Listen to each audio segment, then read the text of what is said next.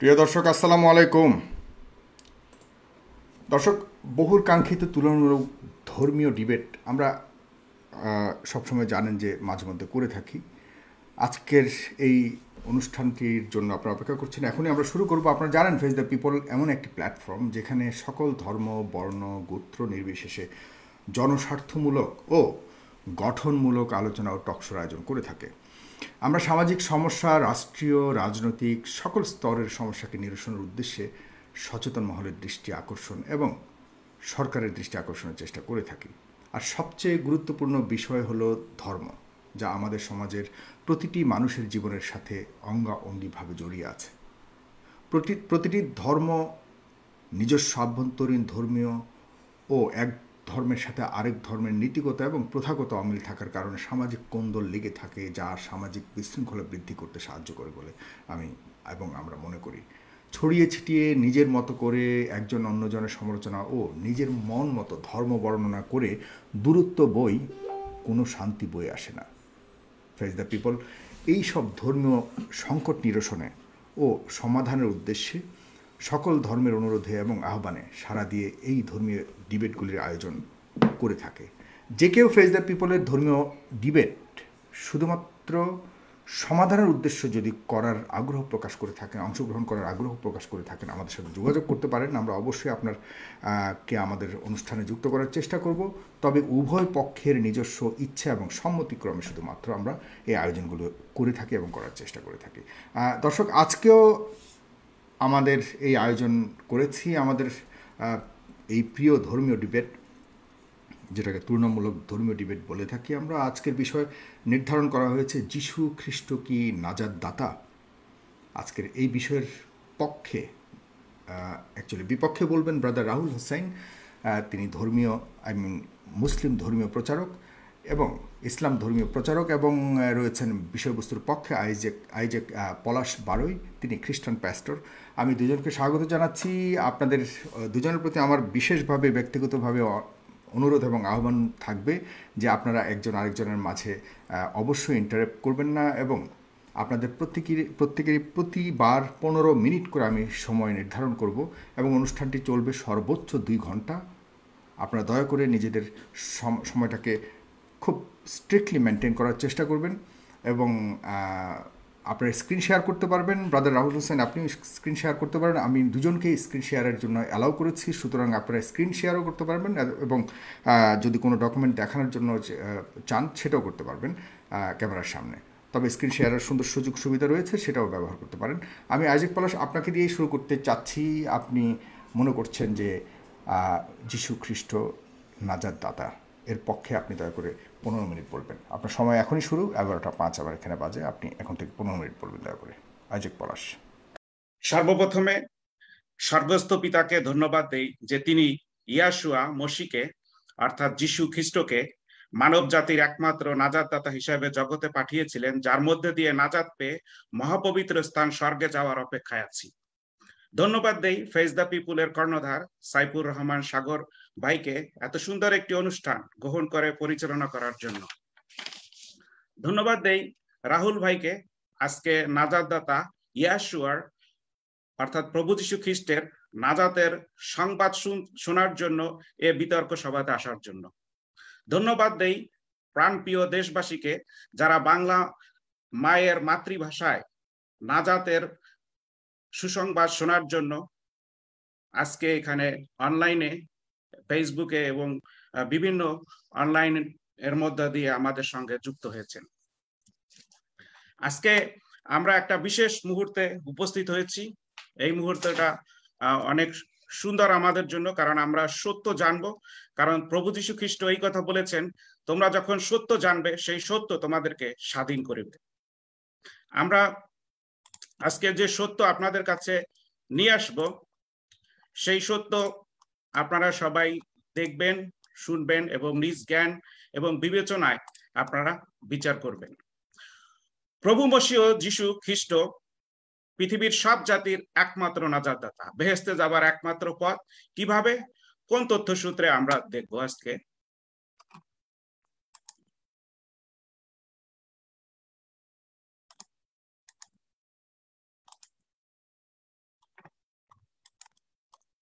প্রভু মসীয় যীশু খ্রিস্ট মানব সৃষ্টির পূর্ব পরিকল্পিত পৃথিবীর সব মানুষের একমাত্র নাজাদাতা যিশু নামের আক্ষরিক অর্থ নাজাদদাতা বা মুক্তিদাতা, যা অন্য কোনো নাম বা ভাওবাদী বা অন্য কোনো নবীর নামে এটার সঙ্গে যুক্ত করা হয় নাই এবং মসীয় অর্থ অভিষিক্ত, অর্থাৎ একমাত্র অভিষিক্ত, খ্রিস্ট অর্থ সৃষ্টিকর্তা বা ঈশ্বর, প্রভু অর্থ সর্বশক্তিমান ঈশ্বর, হিব্রো, এলোহিম, লর্ড ইংলিশে অ্যাডোনাই, নাজাত অর্থ সকল পাপ ও পাপের শাস্তি থেকে মুক্তি লাভ করে। সম্পূর্ণ পবিত্র হওয়া, যাতে করে আমরা মহপবিত্র স্থান বেহেস্তে প্রবেশ করতে পারি। প্রভু আদম হাবা যখন পাপ করেছে, আমরা জানি তাদেরকে সৃষ্টি করা হয়েছে এবং যখন তারা পাপ করেছে, তখন পবিত্র ঈশ্বর থেকে তারা বিচ্ছিন্ন হয়েছে। অর্থাৎ আদমের নাকে যে ফু দিয়ে ঈশ্বর মানুষ সৃষ্টি করেছিলেন, আদমকে প্রাণ দিয়েছিলেন এবং তার পবিত্র আত্মা পাকরুহু তাকে দিয়েছিলেন। সে যখন পাপ করছে, সেই পবিত্র আত্মা চলে গিয়েছিল তার মধ্যে থেকে। এবং সেই ফিরিয়ে আনার লক্ষ্যে কারণ ঈশ্বর বলছে, তুমি যদি এই সৎ সৎ জ্ঞানদায়ক, এই বৃক্ষের ফল খাও, তাহলে তুমি অবশ্যই মরিবে। এবং সেটা ছিল তার আত্মিক মৃত্যু। এবং আত্মিক মৃত্যু মানে তার মধ্যে যে পবিত্র আত্মা, ঈশ্বর ফু দিয়ে দিয়েছিলেন প্রাণবায়ু এবং পবিত্র আত্মা তার মতো করে পবিত্র করে সৃষ্টি করেছিলেন, সেই পবিত্র আত্মা তারা পাপ করার সঙ্গে সঙ্গে চলে গিয়েছিল এবং তাদের আধ্যাত্মিক মৃত্যু হয়েছিল। তাই আদম থেকে সন্তান যারা জন্মায় তারা সবাই সেই আধ্যাত্মিক মৃত্যু অবস্থায় জন্মগ্রহণ করে, পাপ নিয়ে জন্মগ্রহণ করে, পাপ স্বভাব নিয়ে জন্মগ্রহণ করে, সেই জন্য পৃথিবীর সবাই পাপ করে। এবং আমরা যখন দেখি সেই পাপ করার পরে সেই এদন উদ্যানে ঈশ্বর, স্রষ্টা তিনি নারীকে এবং সেই শয়তান সর্পকে এই কথা বলে, আর তোমাতেও নারীতে ও তোমার বংশেও তাহার বংশে পরস্পর শত্রু হইবে। নারীর সন্তান তোমার মস্তক চূর্ণ করিবে এবং তুমি তাহার পাদমূল চূর্ণ করিবে।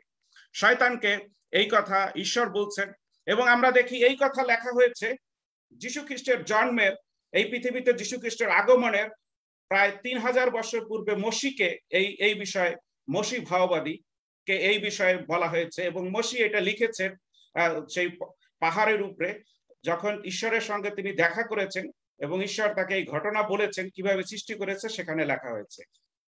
তাহলে আমরা দেখি যে যীশু খ্রিস্টের জন্মের বহু আগেই, তিন হাজার বছর আগে, এই ঘটনা লেখা হয়েছে।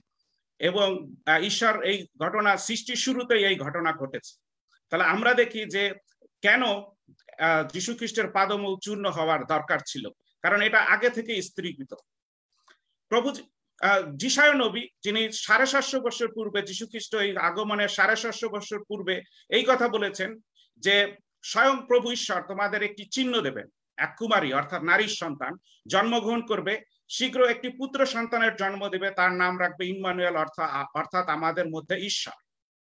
আমরা দেখি আবার এই একই ভাওবাদী সাতশো বছর পূর্বে যীশু খ্রিস্টের আগমনের নয় অধ্যায় ছয় পদে বলছেন যিশায় আমাদের জন্য একটি সন্তান জন্মগ্রহণ করেছে, একটি পুত্র আমাদেরকে দেওয়া হয়েছে। তিনি সমুদায় জগতের শাসনবান গ্রহণ করেছেন আর তার নাম আশ্চর্য মন্ত্রী পরাক্রমশালী ঈশ্বর, চিরস্থায়ী পিতা শান্তিরাজ। তাহলে আমরা দেখি যে এই যে যে পুত্র দেওয়া হয়েছে আমাদের জন্য এবং সেটা সেই পাপ করার সময় সেই ঈশ্বর ঘোষণা করেছেন যে নারীর সন্তান জগতে আসতেছে, আমাদেরকে পরিত্রাণের জন্য নাজাদাতা হিসাবে। আমরা দেখি যে এই একই ভাওবাদী তিনি বলেছেন, তিনি আমাদের অধর্মের নিমিত্ত বিদ্ধ।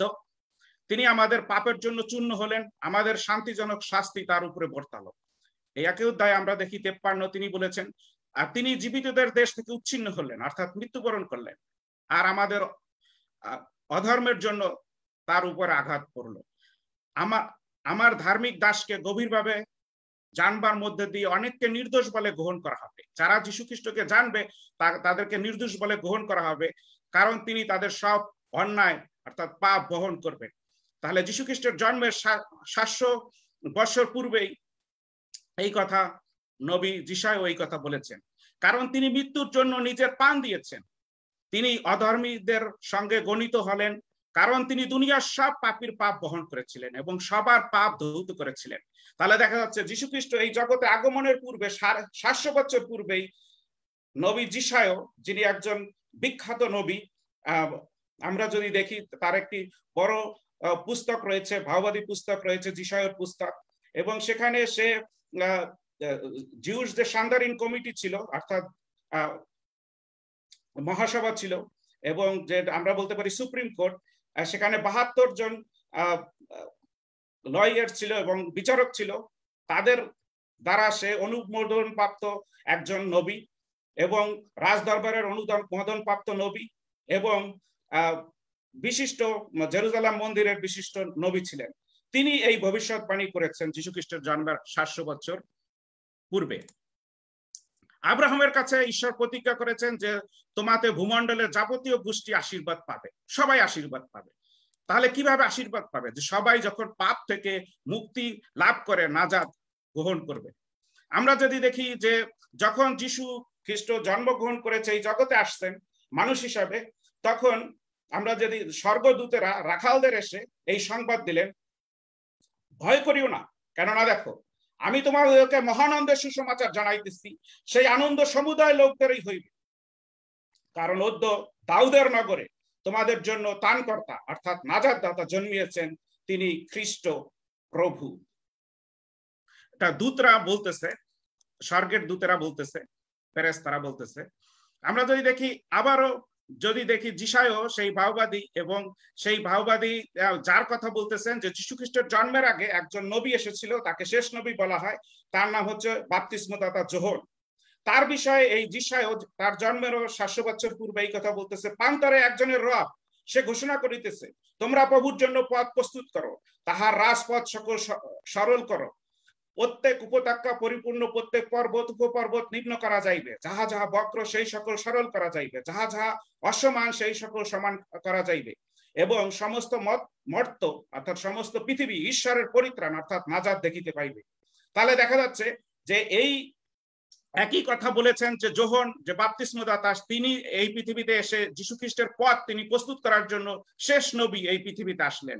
এবং তিনি এই কথা, একই কথা বললেন যেটা আমরা দেখতে পাই লোকলিখিত সুসমাচারের চার অধ্যায় দুই অধ্যায় চার থেকে ছয় পদে। আমরা যদি দেখি আবার যীশু খ্রিস্ট কি বলেছেন সেই যীশু খ্রিস্ট যখন এই পৃথিবীতে আসছে, দূতেরা তখন আবার তার নাম দিয়েছে। ঈশ্বর তার নাম এই পৃথিবীতে আমাদের কাছে দিয়েছে।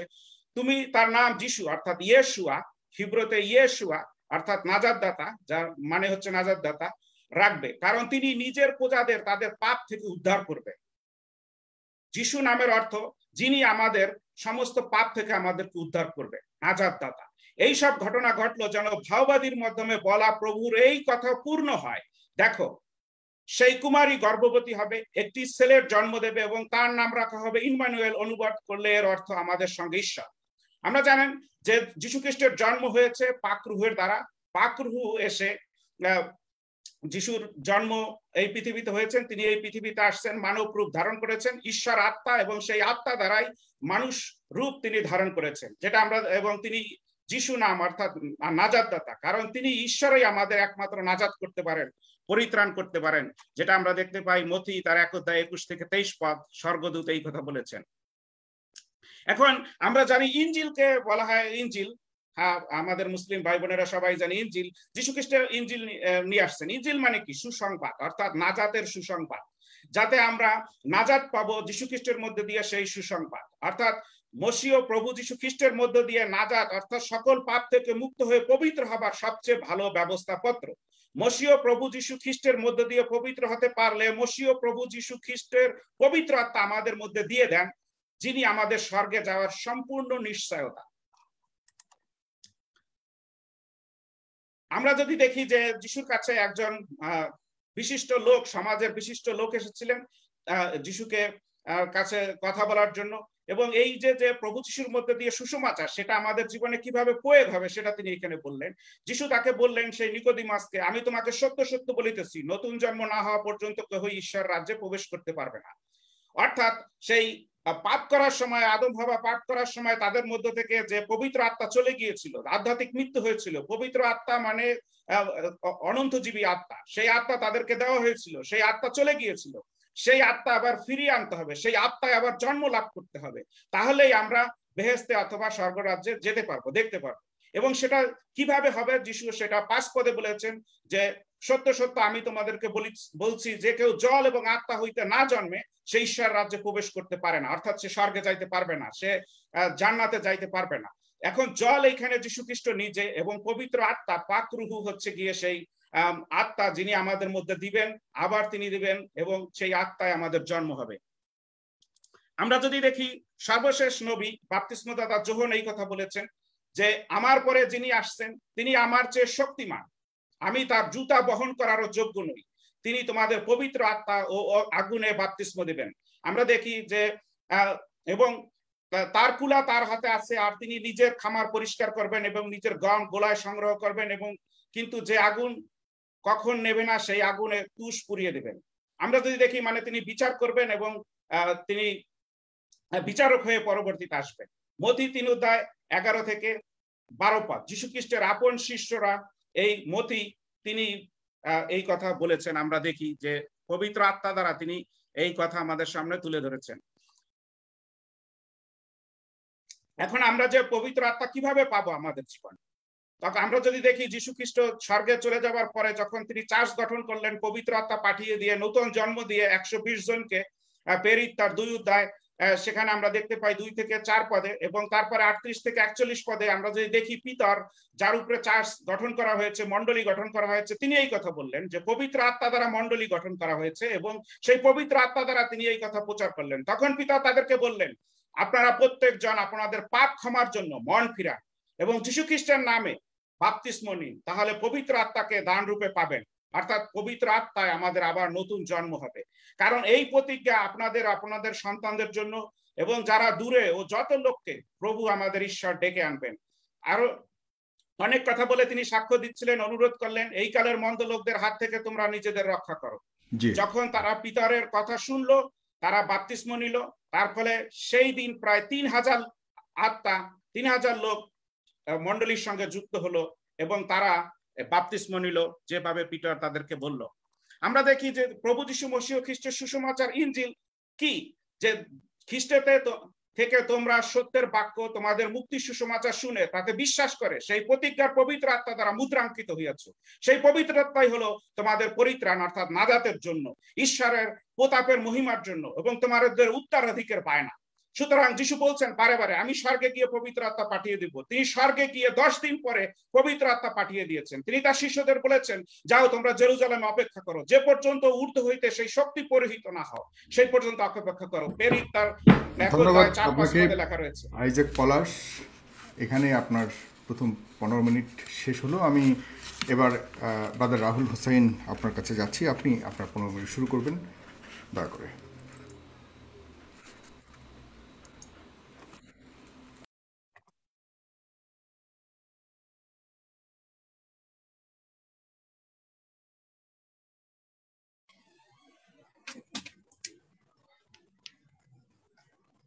হ্যাঁ শোনা যায়? শোনা যাচ্ছে? জি স্পষ্ট। জি আপনার পনেরো মিনিট শুরু করুন। সাগর ভাই শোনা যাচ্ছে কি? একটু বলবেন। আমি মানে অন্য মোবাইল থেকে শুনতে হচ্ছে তো। আপনাকে শোনা যাচ্ছে স্পষ্ট। আপনি বলুন। আপনাকে স্পষ্ট শোনা যাচ্ছে আপনি বলুন। আচ্ছা আচ্ছা ওকে। শোনা যাচ্ছে স্পষ্ট। আপনি বলুন।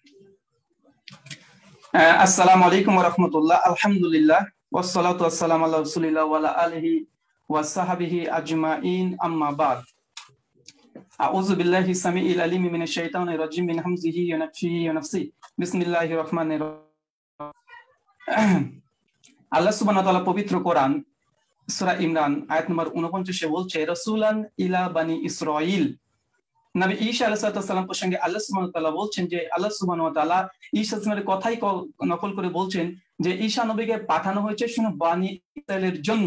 আজকে এই বিষয়ে আপনারা দেখেছেন, প্রথমে আমি সাগর ভাইকে এবং আজকে আমাদের যারা প্রতিপক্ষ হিসেবে এসেছেন, বিশেষ করে আইজাক পলাশ, তাকে আমি ধন্যবাদ জানাই যে, একটা সুন্দর গুরুত্বপূর্ণ বিষয় নিয়ে আলোচনা করার জন্য আমরা আজকে একমাত্র এফএস দ্য পিপল এই পেজে আমরা এসেছি। আমরা এবং শ্রোতাদেরকে ধন্যবাদ জানাই। আজকের আলোচ্য বিষয় যিশু খ্রিস্ট কি নাজাদ দাতা আমাদের ইসলামিক ভিউ হচ্ছে এটা যে আমরা কোন নাবি, কোন রাসুলকে নাজাদ দাতা মনে করি না। আমরা মনে করি প্রত্যেকটা নাবি এবং রাসুল তার নিজ নিজ সময়ে মানুষকে নাজাতের পথ দেখানোর জন্য আসেন। মানে নাজাতের রাস্তা দেখান, তিনি স্বয়ং নাজাত দাতা নন। একটা হচ্ছে রাস্তা দেখানো নাজাতের, আর তার জন্যই খ্রিস্টান বন্ধু তারা বিশ্বাস করে, জিজাস ক্রাইস্ট তিনি হচ্ছে নিজেই নাজাদ দাতা যেমনটা আপনারা সকলে আজাক কলাসের আলোচনা থেকে শুনেছেন, আমি সংক্ষিপ্ত পরিসরে আলোচনা করব। পবিত্র কোরআন একটা স্পষ্ট দাবি করছে। কোরআনের দাবি হচ্ছে, রাসুলান ইনাবানি ইসরাইল আমি ঈশা আলিসাল্লাম তথা জিজাস ক্রাইস্টকে প্রেরণ করেছি শুধু বানি ইসরায়েলের কমের নাজাতের পথ দেখানোর জন্য বা তাদেরকে সত্য পথে নিয়ে যাওয়ার জন্য।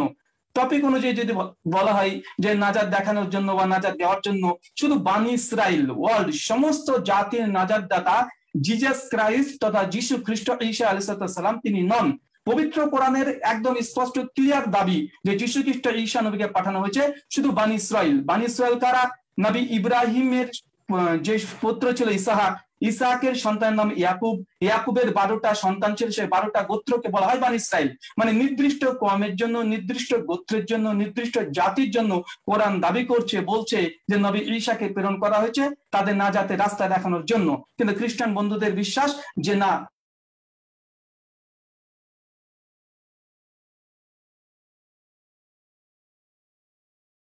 পবিত্র বাইবেলে যেখানে যেখানে তিনি নাজাতের কথা বলছেন, যে তিনি মানুষকে সত্য পথে নিয়ে যাবেন, প্রত্যেকটা জায়গায় মনে রাখবেন, তিনি শুধুমাত্র বানি ইসরায়েলের নাজাত দাতা তিনি সমগ্র মানুষ জাতির নাজাত দাতা নয়, যেটা পবিত্র কোরআন আলহামদুলিল্লাহ দাবি করেছে।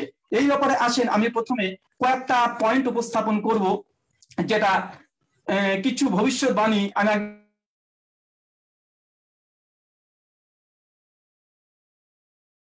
অধ্যায় থেকে দিয়েছে, আমি দেবো গুরুত্বপূর্ণ একটা ভবিষ্যৎবাণী সেটা হচ্ছে মিখা পাঁচ অধ্যায়। দুই নম্বর ভার্স সেখানে পরিষ্কার ভাবে বলছেন, ঈশ্বর বলেছেন, কিন্তু হে বেথেলাম এফ্রেতা, যদিও তুমি ইহুদিদের, ইহুদার হাজার হাজার গ্রামগুলির মধ্যে ছোট্ট তবু তোমার মধ্য থেকে আমার পক্ষে একজন আসবেন, যিনি বান ইসরায়েলের শাসনকর্তা হবে। Point of view old testament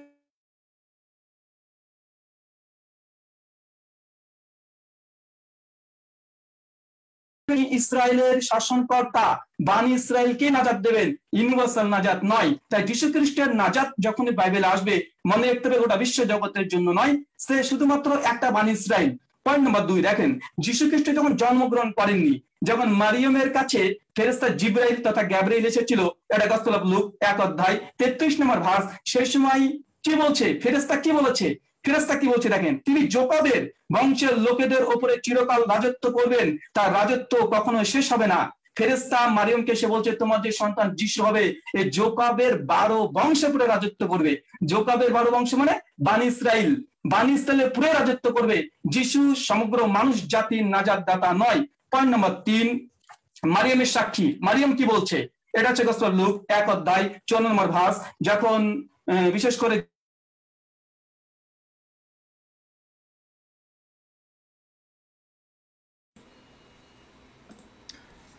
brother Rahul আপনার মাঝে মাঝে কিন্তু কিছু শব্দ মিসিং হচ্ছে। আপনি মাঝে মধ্যে আপনি মিউট হয়ে যাচ্ছেন। ব্রাদার রাহুল আপনি কি আমাকে শুনতে পাচ্ছেন?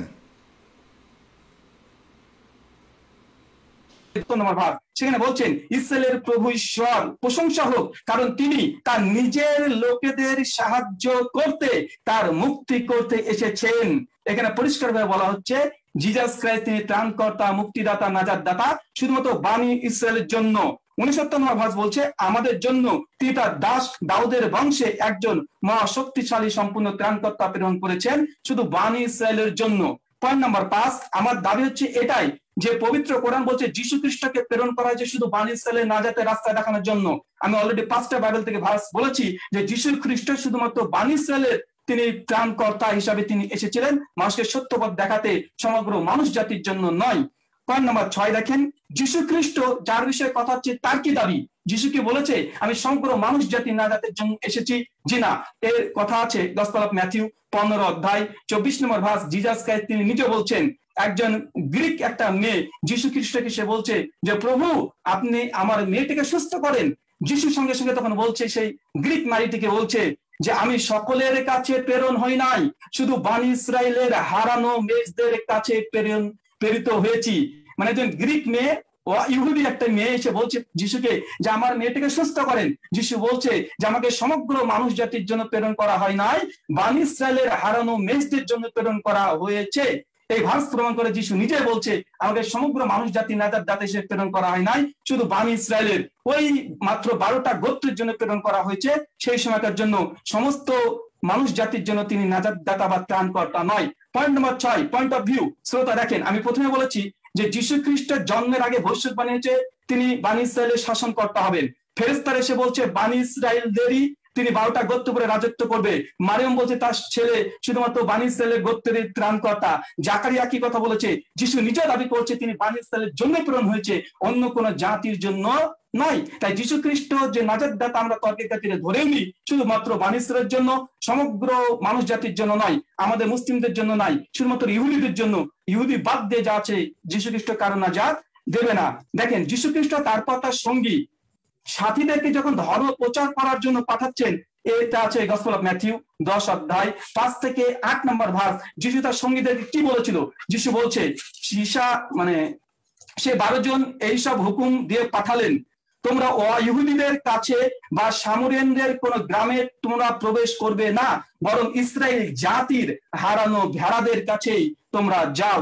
যিশু বলছে তার সঙ্গীদেরকে, তোমরা যে কোনো মানুষের কাছে ধর্ম প্রচার করবে না, শুধুমাত্র বাণী ইসরায়েলের হারানো মেজদের কাছে তোমরা ধর্ম প্রচার করবে। তার মানে যীশু খ্রিস্ট, তার যে ইঞ্জিল, তার যে বার্তা, এটা সম্পূর্ণভাবে বাণী ইসরায়েলের জন্য তার শিষ্যকে এই আদেশটা করেছেন। এরপর দেখেন, যীশু খ্রিস্ট যখন রোজ কিয়ামতের মাঠে তথা বিচারের দিনে যীশু খ্রিস্ট কি বলছে দেখেন? এটা আছে গসপল ম্যাথিউ উনিশ অধ্যায় আঠাশ নম্বর ভাস। যিশু বলছে তার শিষ্যদেরকে, আমি তোমাদের সত্য বলছি সেই নতুন জগৎ যখন মানব পুত্র মহামণ্ডিত সিংহাসনে বসবেন, তখন তোমরা যারা আমার অনুসারী হয়েছ, তোমরা বারোটি সিংহাসনে বসে বাণী ইসরায়েলের বারো গোষ্ঠীর বিচার করবে। তার মানে বোঝা যাচ্ছে যিশু পুনরুত্থানের পরে নতুন যখন পৃথিবী আবার সৃষ্টি হবে, তাদের ভাষা যে নতুন একটা নতুন যখন একটা জগৎ পাবে, সেই সময়তে যীশু খ্রিস্ট তার সঙ্গীদেরকে বলছে তোমরা বারোটা সিংহাসনে বসবে, আর বাণী ইসরায়েলের বারোটা গোত্রে তোমরা বিচার করবে। তার মানে যিশু শুধুমাত্র বাণী ইসরায়েলের ব্যাপারে তিনি বলছেন সমগ্র মানুষ জাতি তিনি নাজার দাতা নয়। এরপরে দেখেন, স্বর্গের যে জ্ঞান, যিশু যে শিক্ষা দিতেন, শিক্ষাটা তিনি ইউনিভার্সাল ভাবে দিতেন না। প্রমাণ গসল অফ ম্যাথিউ, তেরো অধ্যায়, দশ থেকে এগারো নম্বর ভার্স যিশু যখন কোন শিক্ষা দিতেন তার সঙ্গীদেরকে, সেই সময় তিনি কি করতেন দেখেন? যিশুর শিষ্যরা তার কাছে এসে বলল, কেন আপনি দৃষ্টান্তের মাধ্যমে লোকদের সঙ্গে কথা বলেন? এর উত্তরে যিশু তাদের বললেন স্বর্গের রাজ্যের বিষয়ে ঈশ্বরের গুপ্ত সত্য বোঝার ক্ষমতা কেবল তোমাদেরই দেওয়া হয়েছে, কিন্তু সকল লোককে ক্ষমতা দেওয়া হয়নি। যিশু যখন অনেক ইহুদি ও ইহুদি গ্রিক সবাই চলে আসতো ভিড়ের মধ্যে। যিশু তখন শিক্ষা দিতেন, সেই সময় তিনি রূপকত্বের কথা বলতেন মেটাফারিকেলের কথা বলতেন। শিষ্যরা বলছে, প্রভু যখন মানুষজন চলে আসে, সেই আপনি রূপক কথা বলেন কেন? যিশু বলছেন যে স্বর্গ রাজ্যের এই কথা শুধুমাত্র তোমাদেরকে জানানো হবে। সমগ্র মানুষ জাতিকে নয়, কেন তারা অয়ুদি তার জন্য তাদেরকে জানানো যাবে না। তার মানে আমি বারবার এটা ফোকাসিং করছি যিশুর নাজাত শুধুমাত্র বাণী ইসরায়েলের জন্য, সমস্ত মানুষ জাতির জন্য নয়। পয়েন্ট নম্বর এগারো গসল অফ মার্ক চার অধ্যায় এগারো থেকে বারো নম্বর ভাস, যিশু আবার তার সঙ্গীদেরকে বলছে, কি বলছে? ঈশ্বরের রাজ্যের নিগুড় তত্ত্ব তোমাদের বলা হয়েছে। কিন্তু যারা ঈশ্বরের রাজ্যের বাইরের লোক তাদের কাছে সবকিছু দৃষ্টান্তের মাধ্যমে বলা হয়। তারা দেখবে কিন্তু উপলব্ধি করতে পারবে না, শুনবে, তবু তারা বুঝতে পারবে না। যিশু বলছে, আমরা যখন ইসরায়েলের কাছে, গ্রিকদের কাছে, রোমানদের কাছে আমি রূপক করতে কথা বলি, এই জন্য কারণ সেই কথাগুলো শুনে যেন তারা বুঝতে না পারে। মানে পরোক্ষভাবে বোঝা যাচ্ছে, যিশু বান ইসরায়েলের তিনি সুস্পষ্ট হয়ে কথা বলে বোঝাতেন কথা, নাজাতের কথা। কিন্তু যখন ইহুদি চলে আসতেন, রূপক অর্থে বলতেন, কেন? তিনি বলছেন, কারণ তারা দেখেও যেন না দেখে, শুনেও যেন না শুনে। যিশুর ইচ্ছা যে ইহুদি যেন তার কথা শুনে বুঝতে না পারে এটা স্পষ্ট হয়ে প্রমাণিত হয়ে যাচ্ছে যে যিশুর নাজাত তার শিক্ষা, এটা সমগ্র মানুষ জাতির জন্য নয় কেন ওয়াইহুদিদেরকে তিনি শিক্ষা দিবেন? এটা তিনি কি করতেন? রূপক অর্থে কথা বলতেন। তিনি পরিষ্কার ভাবে কোনো কথা বলতেন না। আর একটা বিষয় আপনারা দেখতে পারেন, যিশু নাজাদ দেবেন না। তার একটা পয়েন্ট দেখেন। গসল জন নয় অধ্যায়, উনচল্লিশ নম্বর ভাস যিশু কি বলছেন দেখেন, বিচার করতে আমি জগতে এসেছি, আমি এসেছি যাতে তারা দেখতে পায় দেখতে পায় না, তারা দেখতে পাক, আর যারা দেখতে পায় না, তার যেন অন্ধে পরিণত হয়। যিশু বলছে এই জগতে আমি এসেছি বিচার করতে, কারণ যারা দেখতে পায় না, তাদেরকে চক্ষু দেব। আর যারা দেখতে পায়, তাদেরকে অন্ধ করে দেব। পয়েন্ট অফ ভিউ আপনার দৃষ্টি আকর্ষণ করছি। যিশু বলছে, যারা দেখতে পায় না, তাকে দেখতে দেবো। এটা যদি আক্ষরিক অর্থ ধরি, অন্ধ মানুষকে চক্ষু দেবে, ঠিক আছে। পরে ভাস বলছে, যারা দেখতে পায়, তারা যেন দেখতে না পাই মানে অন্ধে পরিণত করে দিব। তার মানে যিশু কি কি পৃথিবীতে এসেছিল যে মানুষ যারা দেখতে পাবে তাকে অন্ধ করে দিবে? এর অর্থ কি? এর অর্থ যিশু যারা পথ পথভ্রষ্ট, তাদেরকে পথ দেখাতে এসেছে। আর যারা অলরেডি পথের উপরে আছে মানে হৃদায়তের উপরে আছে, তাদেরকে বিভ্রান্ত করতে যিশু এসেছে। এই কথা স্পষ্ট প্রমাণিত। তার মানে বোঝা যাচ্ছে যিশু ইউনিভার্সাল নাজাত, তিনি দেবেন না। তিনি একটা গোত্রের শুধুমাত্র নাজাত দিবে, সেটা বানি ইসরাইল। আমাদের হিন্দুদেরকে, খ্রিস্টানদেরকে ইহুদি যারা আছে, কাউকে তিনি নাজাত দেবেন না। পয়েন্ট নাম্বার চোদ্দ। দেখেন গীত সংহিতা একশো ছেচল্লিশ নম্বর অধ্যায় তিন number verse point of view কি বলছে দেখেন ওল্ড টেস্টামেন্ট তথা জাবুর, কি বলছে দেখেন, কোন উঁচু পদের লোক, কোন মানুষ পুত্রের উপরে তোমরা নির্ভর করো না, তার উদ্ধার করতে পারে না। ওল্ড টেস্টামেন্ট গীত সংহিতা একশো ছেচল্লিশ অধ্যায় তিন নম্বর ভার্স বলছে, তোমরা কোনো মানব পুত্রের উপরে বিশ্বাস করো না, কারণ মানব পুত্র কারণ নাজাদ দিতে পারে না। পয়েন্ট অফ ভিউ না মানব পুত্রের উপরে বিশ্বাস করতে মানা করছে, কারণ মানব পুত্রের কাছে কোনো নাজাত নেই। আপনার আশ্চর্য হয়ে যাবেন মানব পুত্র কে? বাইবেলের নিউ টেস্টমেন্টে ছিয়াশি বার এসেছে, যিশুকে বারবার বলা হয়েছে son of man son of man মানব পুত্র আর ওল্ড টেস্টমেন্ট বলছে যে, কোনো মানব পুত্র উপরে নির্ভর করো না কেন মানব পুত্র নাজাত দিতে পারে না। নাজাত তো দিবে ঈশ্বর। আল্লাহ সুবান তালা নবীর আছে জালিয়া মাধ্যম। নাজাত কোনো মানব পুত্র দিতে পারে না। নাজাত দেবে আল্লাহ ঈশ্বর। এই ব্যাপারে পরিষ্কার ভাবে ফার্স্ট ত্রিমথি দুই অধ্যায় পাঁচ নম্বর ভার্স বাইবেল স্পষ্ট হয়ে বলছে, একদম পরিষ্কার ক্লিয়ার ভাবে বলছে যে আমাদের ঈশ্বর মাত্র একজন। আর সেই ঈশ্বরের কাছে পথ দেখানোর মাধ্যম একটি। তার নাম যীশু খ্রিস্ট, যিনি একজন মানুষ ছিলেন। তার মানে ত্রিমথি বলছে স্পষ্ট ভাবে যীশু খ্রিস্ট তিনি নাজাতের পথ দেখাতেন, বানি ইসরায়েলকে তিনি স্বয়ং নাজাত দাতা নয়, তিনি মাধ্যম। তিনি মাধ্যম ফার্স্ট পাঁচ নম্বর ভাগ স্পষ্ট বলা হয়েছে। গীত সংহিতা একশো ছেচল্লিশ অধ্যায় চার নম্বর ভাগ গুরুত্বপূর্ণ ব্যাপার বলছে যে, যেসব ব্যক্তি মরে কবরে চলে গেছে, তাদের কোনো ক্ষমতা নেই। আর খ্রিস্টানদের বিশ্বাস যিশু মরে কবরে চলে গেছে। আয়ুব সাত অধ্যায় নয় নম্বর ভাস পরিষ্কার বলছে মৃত যেমন অদৃশ্য হয়ে চলে যায় তেমন মৃত স্থান যারা কবরে প্রবেশ করে তারা আর ফিরে আসে না। মানে যারা কবরে চলে গেছে তাদের আর কোনো ক্ষমতা নেই। আর খ্রিস্টানরা বিশ্বাস করে গসলভ জন বিশ অধ্যায় এক থেকে আট নম্বর ভাস যিশু মারা গিয়েছে তিন দিন কবরে ছিল তার মানে যারা কবরের মধ্যে চলে যায় তারা কখনোই তারা নাজাদ দিতে মানুষকে পারে না। অতএব যিশু খ্রিস্ট তিনি নাজাদ দেবেন না সার্বিকভাবে গোটা বিশ্ব জগতের। বুক অফ ইয়োব মানে যোগ পঁচিশ অধ্যায় চার নম্বর ভাস বলছেন, ঈশ্বর, তাহলে ঈশ্বরের কাছে মানুষ কি নির্দেশ হতে পারে? স্ত্রীলোকের গর্ব থেকে যে সন্তান জন্মিয়েছে, সে কীভাবে পাপ পাপ মুক্ত হতে পারে? পরিষ্কার ইয়োগ তার পঁচিশ অধ্যায় চার নম্বর ভাস বলছে যে মাতৃগর্ভে থেকে জন্মগ্রহণ করেছে সে কীভাবে পবিত্র হতে পারে তার মানে বোঝা যাচ্ছে মায়ের গর্ভে পৃথিবীর কোনো মানুষ জন্মগ্রহণ করে না সকলে তার পিতা এবং মাতার কারণে জন্মগ্রহণ করে মায়ের পেট থেকে জন্মগ্রহণ করেছে তার নাম হচ্ছে আপনাকে অনেক ধন্যবাদ আপনার সময় শেষ এখানে আমি আপনাকে আমি আপনাকে এখানে শেষ হ্যাঁ শেষ করছি আপনার এই সময় শেষ আমি আচ্ছা পলাশ আপনি বলবেন দয়া করে আপনার পনেরো মিনিট এখন থেকে শুরু।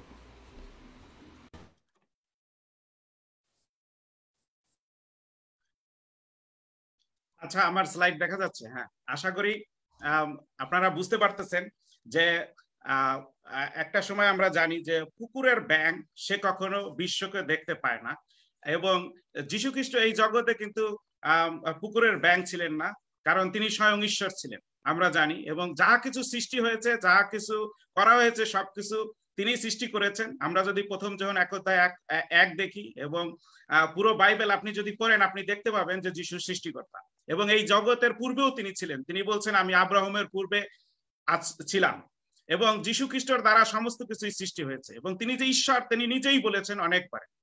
আমরা যদি দেখি যে উনি ব্রাদার রাহুল, উনি একটা কথা বলেছেন, যিশু নাকি সেই সারা পৃথিবীর জন্য আসেন নাই এবং তিনি একটা ভার্স যোহন, তার নয় অধ্যায় এগারো পদ তিনি টেনে বলেছেন যে যিশু উত্তর করিয়া সেই কাদা করিয়া তাহার চক্ষুতে লেপন করিলেন আর আমাকে বলিলেন, শিলেহ শিলেহ যাও, ধুইয়া ফেলো, তাহাতে আমি গিয়ে ধুইয়া ফেলিলে দৃষ্টি পাইলাম। এখানে যিশু কিন্তু একটা অন্ধ লোককে চক্ষু দান করলেন এবং সেই জন্য যিশু এই কথা বললেন যে সবার তিনি চক্ষু দেবেন যারা তার কাছে আসে। কিন্তু যারা তার কাছে আসে না, তাদেরকে দিবেন না। ঠিক আছে? তাহলে আমরা দেখি উনি যে বলছেন যে যিশু খ্রিস্ট নাজাতের কথা কিন্তু এখানে বলে নাই। এখানে মাত্র একটা সুস্থ হওয়ার বিষয়ে সে আবার চক্ষু খুলে দেবে সেই কথা বলছেন আমরা যদি দেখি যে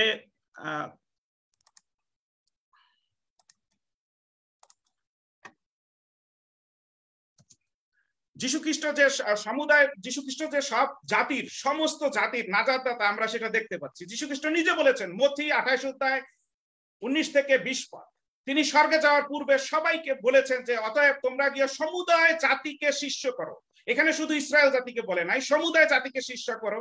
পিতা ও পুত্রের ও পবিত্র আত্মার নামে বাপ্তাইজ করো। আর আমি তোমাদেরকে যাহা যাহা আজ্ঞা করিয়েছি, সেই সকল পালন করিতে তাহাদেরকে শিক্ষা দাও। আর দেখো, আমি যুগান্ত পর্যন্ত যুগে যুগে প্রতিদিন তোমাদের সঙ্গে সঙ্গে আছি। আমরা দেখি যে যিশু তাহাকে বলিলেন, আমি পথ সত্য জীবন। আমা দিয়া না আসলে কেউ পিতার নিকট অর্থাৎ বেহেস্তে প্রবেশ করতে পারবে না। তাহলে যিশু হচ্ছে একমাত্র পথ, একমাত্র সত্য, একমাত্র জীবন। এই কথা পৃথিবীর কেউ বলে নাই, কোনো নবী বলে নাই, কোনো মানুষ বলে নাই। হ্যাঁ নারীর গর্ভে জন্মগত কোনো মানুষ এই কথা বলে নাই, শুধু যিশুই বলেছেন। কারণ যিশুই মানুষকে নাজাদ দিতে পারেন, যিশু নামের আক্ষরিক অর্থই হচ্ছে নাজাদ দাতা এবং রাহুল ভাই উনি এটা এটা মনে করে, উনি এটা মনে করেন যে যিশু নাজাদ দাতা না। উনি মনে করেন, উনি মনে করলে তো হবে না। উনার মনে কারা আশায় উনিও নাজাদ পাবেন না কেউ নাজাদ পাবে না পৃথিবীর। যিনি ঈশ্বর, যিনি এই পৃথিবীতে আসছেন, মানুষ রূপ ধারণ করে, তিনি তার নাম দিয়েছেন নাজাদ দাতা স্বর্গদূতের দ্বারা তিনি নাম পাঠিয়ে দিয়েছেন। আক্ষরিক অর্থে তার নামই হচ্ছে নাজাদ দাতা এবং উনি বলছেন, যিশু নিজে বলছেন যে তিনি নাজাদ করতে এই পৃথিবীতে আসছেন, স্বর্গদূতরা বলছে নাজাদ করতে আসছেন। এবং আমাদের এই রাহুল ভাই, উনি উনি মনে করেন, উনি মনে করেন, শুধু মনে করেন, উনি কোনো রেফারেন্স দিতে পারেন নাই যে যিশু নাজাদ দাতা নয়। যিশু কি বলছেন যে তিনি নাজাদ দাতা নয়? কারণ আমরা যদি দেখি তিনি বলছে পর সত্য জীবন আমাদের না আসলে কেউ বেহেস্তে চাইতে পারবে না কেহরই নাজাদ পলাশ ভাই আপনি আপনি আমি একটা সেকেন্ড আপনাকে এখানে একটু থামিয়ে বলছি যে আপনি যখন আপনার স্ক্রিন শেয়ার দেওয়া শেষ হবে আপনি দয়া করে তখন একটু স্ক্রিন শেয়ার স্ক্রিনটা সরিয়ে ফেলবেন। অনেকে আপনাকেও দেখতে চায় কথা বলবার সময়। তখন আপনি মানে মাঝে মধ্যে একটু নিজেকে দেখাবেন। কারণ ধন্যবাদ। জি। আমরা যদি দেখি মথি তার চব্বিশ অধ্যায় চোদ্দ পদে বলছে, আর যীশু খ্রিস্ট নিজে বলতেছেন, সর্বজাতির নিকটে সাক্ষ্য দিবার নিমিত্ত রাজ্যের এই সুষমাচার সুষমাচার কি? সমুদায় জগতে প্রচার করা যাইবে, সমুদায় জগতে প্রচার করা যাবে যিশু নিজে এই কথা বলতেছেন, কিন্তু রাহুল ভাই মনে করতেছে যে যিশু নাজাদ দাতা না। উনার মনে মনে এই কথা উনি বলতেছে। তাহলে সর্বজাতির নিকটে যখন সুষমাচার দেওয়া হবে, সর্বজাতির নিকটে যখন সুষমাচার দেওয়া হবে, তখন সে সুসমাচারটা কি? সুসমাচার মানেই হচ্ছে নাজাত, যাতে আপনি যীশু খ্রিস্টের মধ্যে দিয়া বেহেস্তে যাইতে পারেন, স্বর্গে যাইতে পারেন। আমরা যদি দেখি যোহন তার চোদ্দ অধ্যায় এক থেকে তিন পদ আপনি যদি পড়েন, যিশু তার শিষ্যদের বলছে, আমাদেরকে বলতেছে, তোমাদের হৃদয় উদ্বিগ্ন না হোক। দেখো, আমি স্বর্গে যাচ্ছি এবং আবার আসব। কারণ আমি যেখানে থাকি, সেখানে তোমাদের নিয়ে যাব। কারণ আমি যেখানে থাকি, তাহলে তোমরাও সেখানে থাকো। তাহলে যিশু কিন্তু এখন স্বর্গে আছে। তিনি এখন স্বর্গে আছে। কোনো নবী স্বর্গে নাই। হ্যাঁ আমরা জানি হ্যাঁ চব্বিশ জন প্রাচীন আছে, কিন্তু তারা মানুষ এই পৃথিবীতে আসছিলেন। যেমন এলিও হ্যাঁ বসি তারা স্বর্গে গেছে। কিন্তু অন্য চব্বিশ জন প্রাচীন বাদে আর যিশু তো নিজেই স্বর্গের সিংহাসনে বসে আছেন, আমরা জানি তার সিংহাসন। তাহলে কেউই কিন্তু তাকে বাদ দিয়ে কেউই কিন্তু স্বর্গে যেতে পারবে না, আমরা দেখতে পাচ্ছি। তারপরে আমরা যদি দেখি যে যিশু নিজে বলেছেন মার্ক আর আমি তোমাদেরকে সত্য কহিতেছি সমুদায় জগতে যে কোনো স্থানে সুসমাচার প্রচারিত হবে, সেই স্থানে শরণার্থে এই কর্ম বলা যাইবে। অর্থাৎ সমুদায় জগতের কথা যিশু বারে বারে বলেছেন, অর্থাৎ তোমরা সমুদায় জগতে যাও মার্ক পনেরো অধ্যায় পনেরো পর, সমস্ত সৃষ্টির নিকটে নাজাতের সুসমাচার প্রচার করো। নাজাত, সুসমাচার মানেই হচ্ছে নাজাত। হ্যাঁ নাজাতের সুসমাচার প্রচার করো। তারপরে লুক বলছে যে অন্য অন্য নগরে তোমাদের ঈশ্বরের রাজ্যের সুসমাচার প্রচার করিতে হইবে। যিশু এই কথা নিজে বলতেছে, কেননা আমি সেই জন্যই প্রেরিত হইয়াছি সমুদায় জগতে। তারপরে তিনি বলতেছেন, এই মন পরিবর্তনের নিমিত্ত সর্বজাতির কাছে প্রচার করা যাইবে। কি? আর তাহার খ্রিস্টের নামে মন, পাপ মোচনার্থক মন পরিবর্তনের কথা সর্বজাতির কাছে প্রচারিত হইবে। জেরুসালাম থেকে আরম্ভ করা যাইবে। আমরা যদি দেখি পেরিত তার, আমরা যদি দেখি পেরিত তার এক অধ্যায় আট পদে কি বলছে? সেই পবিত্র আত্মা পাকরুহু যখন তোমাদের উপরে আসবে তখন তোমরা শক্তিপ্রাপ্ত হইবে। এবং পৃথিবীর জেরুজালাম জুদেয়া, সামরিয়া এবং পৃথিবীর শেষ প্রান্ত পর্যন্ত তোমরা আমার সাক্ষী হবে। পৃথিবীর শেষ প্রান্ত পর্যন্ত তোমরা আমার সাক্ষী হবে। যিশু নিজেই কথা বলতেছেন স্বর্গে যাওয়ার পূর্বে। তাহলে আমরা যদি দেখি যে উনি মনে মনে বলতেছেন, কিন্তু যিশুর কথা উনি বিশ্বাস করেন না। সেই জন্য উনি মনে মনে বলতেছেন। আচ্ছা আমরা দেখি যে যিশু সমুদায় জাতির কথা যিশু বারে বারে বলেছে মথি তার পঁচিশ অধ্যায় একত্রিশ পদ। এখন আমরা যদি দেখি, উনি যে রেফারেন্স গুলি নিয়ে আসছে, যিশু যখন হিলিং কাজ করেছে, যিশু যখন আশ্চর্য কাজ করেছে, যিশু জেরুজালামের বাইরে যান নাই। কারণ সুষমাচার নাজাতের কাজ সম্পন্ন করার জন্য জেরুজালামের যিশু এই ইসরায়েল জাতির মধ্যেই তার এই এই কাজ সীমাবদ্ধ ছিল।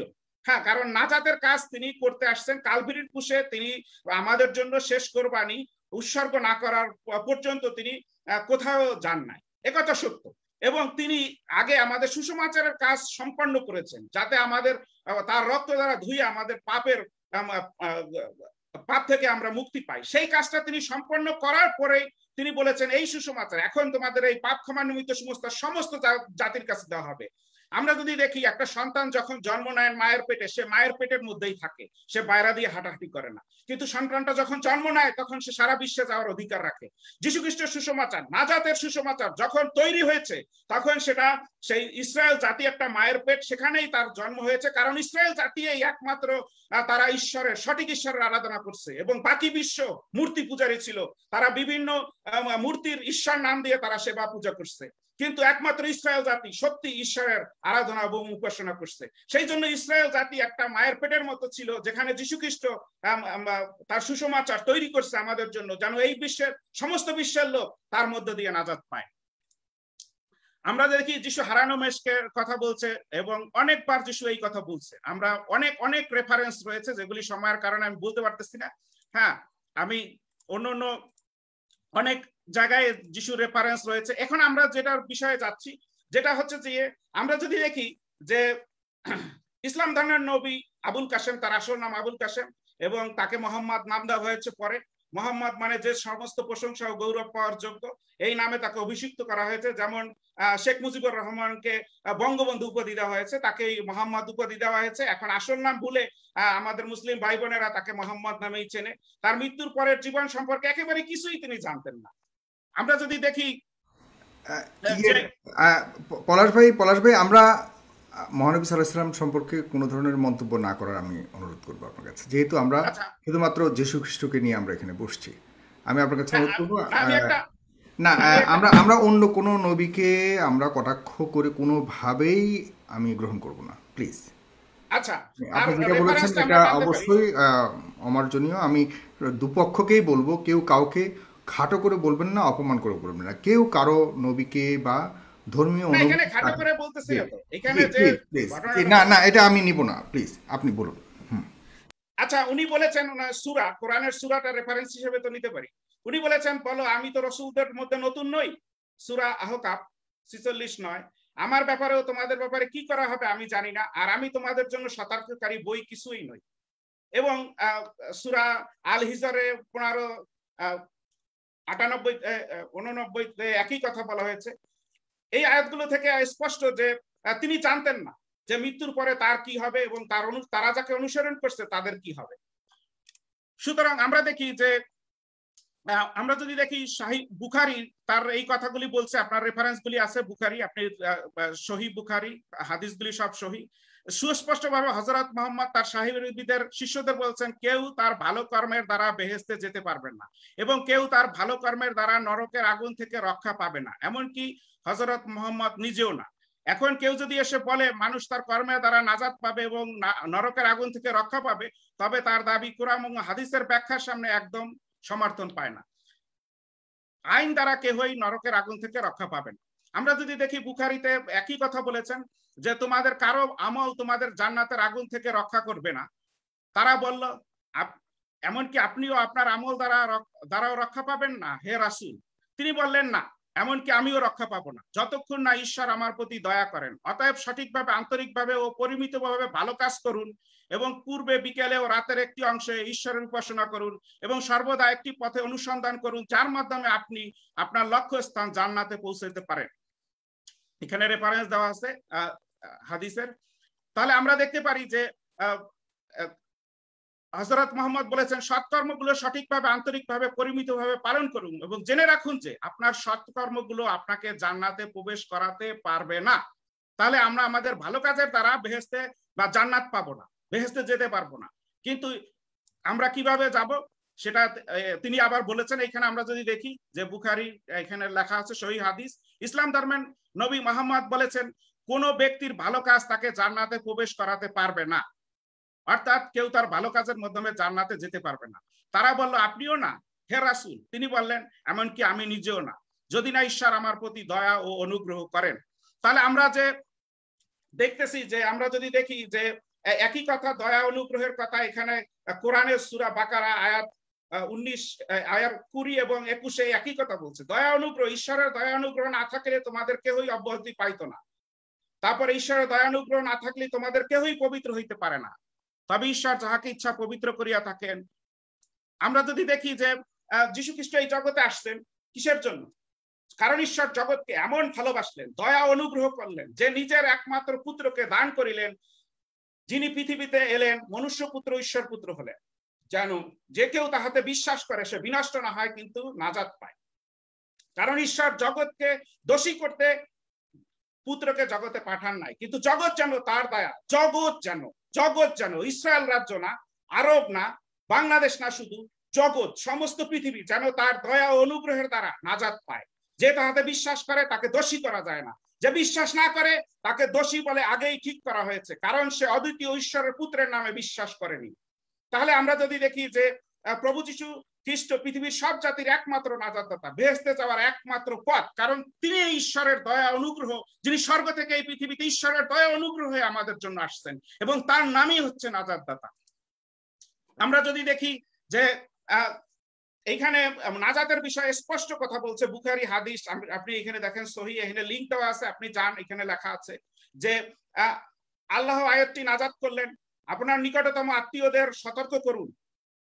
তখন মোহাম্মদ উঠে বললেন, হে কুরাইশবাসী, শুনুন, আপনারা জাহান নামের আগুন থেকে নিজেদেরকে বাঁচান, কারণ আমি আপনাদের বাঁচাতে পারব না। নরকের আগুনের শাস্তি থেকে।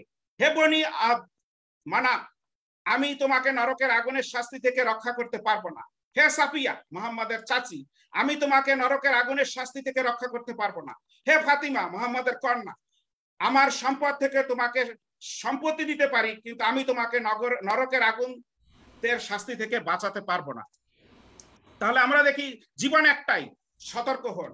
তাই মুসলিম ভাই বোনদের প্রতি আপনারা কেন একজন আরবীয় ব্যক্তিকে অনুসরণ করছেন? যিনি মৃত্যুর তার মৃত্যুর পরবর্তী জীবন একবারেই পলাশ ভাই পলাশ ভাই পলাশ ভাই this is the second and last আমি আপনার কাছে বলি যে আমরা কোনো মহানবী সাল্লাহ ইসলামের দাতা কিনা সেটা নিয়ে আমরা বসিনি। আজকে প্রয়োজন অন্যদিন এটা নিয়ে কোনো কথা বলবার ইচ্ছে থাকলে সেটা বলব অন্যদিন আচ্ছা। কিন্তু আমরা আজকে শুধুমাত্র যিশু খ্রিস্টের নাজাদ দাতা কিনা সে নিয়ে আমরা আজকে আলোচনা করি। এর মধ্যে থাকবার জন্য আমি আপনাকে আহ্বান করছি। দয়া করে প্লিজ আপনি এর মধ্যে যদি থাকেন তাহলে আমরা অনুষ্ঠানটা খুব সুন্দরভাবে শেষ করতে পারব।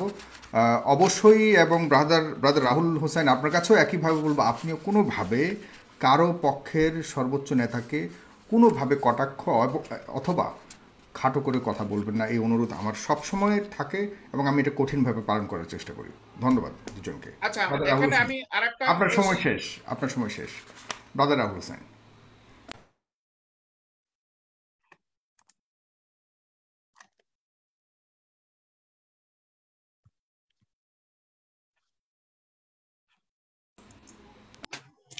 আসসালামু আলাইকুম রহমতুল্লাহ বারিকাতুহু। জয় সুপ্রিয় শ্রোতা মন্ডলী আমাদের রিবাটেল টাইম একটা কথা মনে রাখবেন যে, ভাবের গরুকে গাছে তোলা যায়। মানুষ যদি চিন্তা দিয়ে ভাবের গরু মানে সে গাছে তুলে দিবে, তো ভাবের গরুকে অনেক কিছু করা যায়। তো যাই হোক, তিনি প্রথমে বলেছিলেন যে, কোর ব্যাংক নাকি সবকিছু জানে না। আসলে আমি কতটুকু কি, এখন রিবাটাল সেশনে সবগুলোকে আমি কোট করেছি ইনশাল্লাহ প্রত্যেকটার উত্তর এখন থেকে আমরা শুরু করছি। প্রথম কথা তিনি বলেছেন যে যিশু অর্থ নাজাদ দাতা অতএব যিশু নাজাদ দাতা হয়ে গেছে। মানে তার নামের অর্থ যদি কিছু হয়, তাহলে নাকি সে নাজাদ দাতা হয়ে যায় সরাসরি। তো প্রথম কথা হচ্ছে এটা যে আপনারা জানেন যে হিন্দুদের ধর্মে একজন আছে, তার নাম হচ্ছে শিব। শিবকে বলে মহেশ্বর মানে তিনি ঈশ্বর। তো এই দাবি দিয়ে যারা হিন্দু দাদারা আছে, তারা তো মানে শিবকে তো মহেশ্বর বলে ঈশ্বর হিসেবে পুজো করবে। এটার সঙ্গে কি একমত হবেন? নামের অর্থের সঙ্গে কি যায় আসে?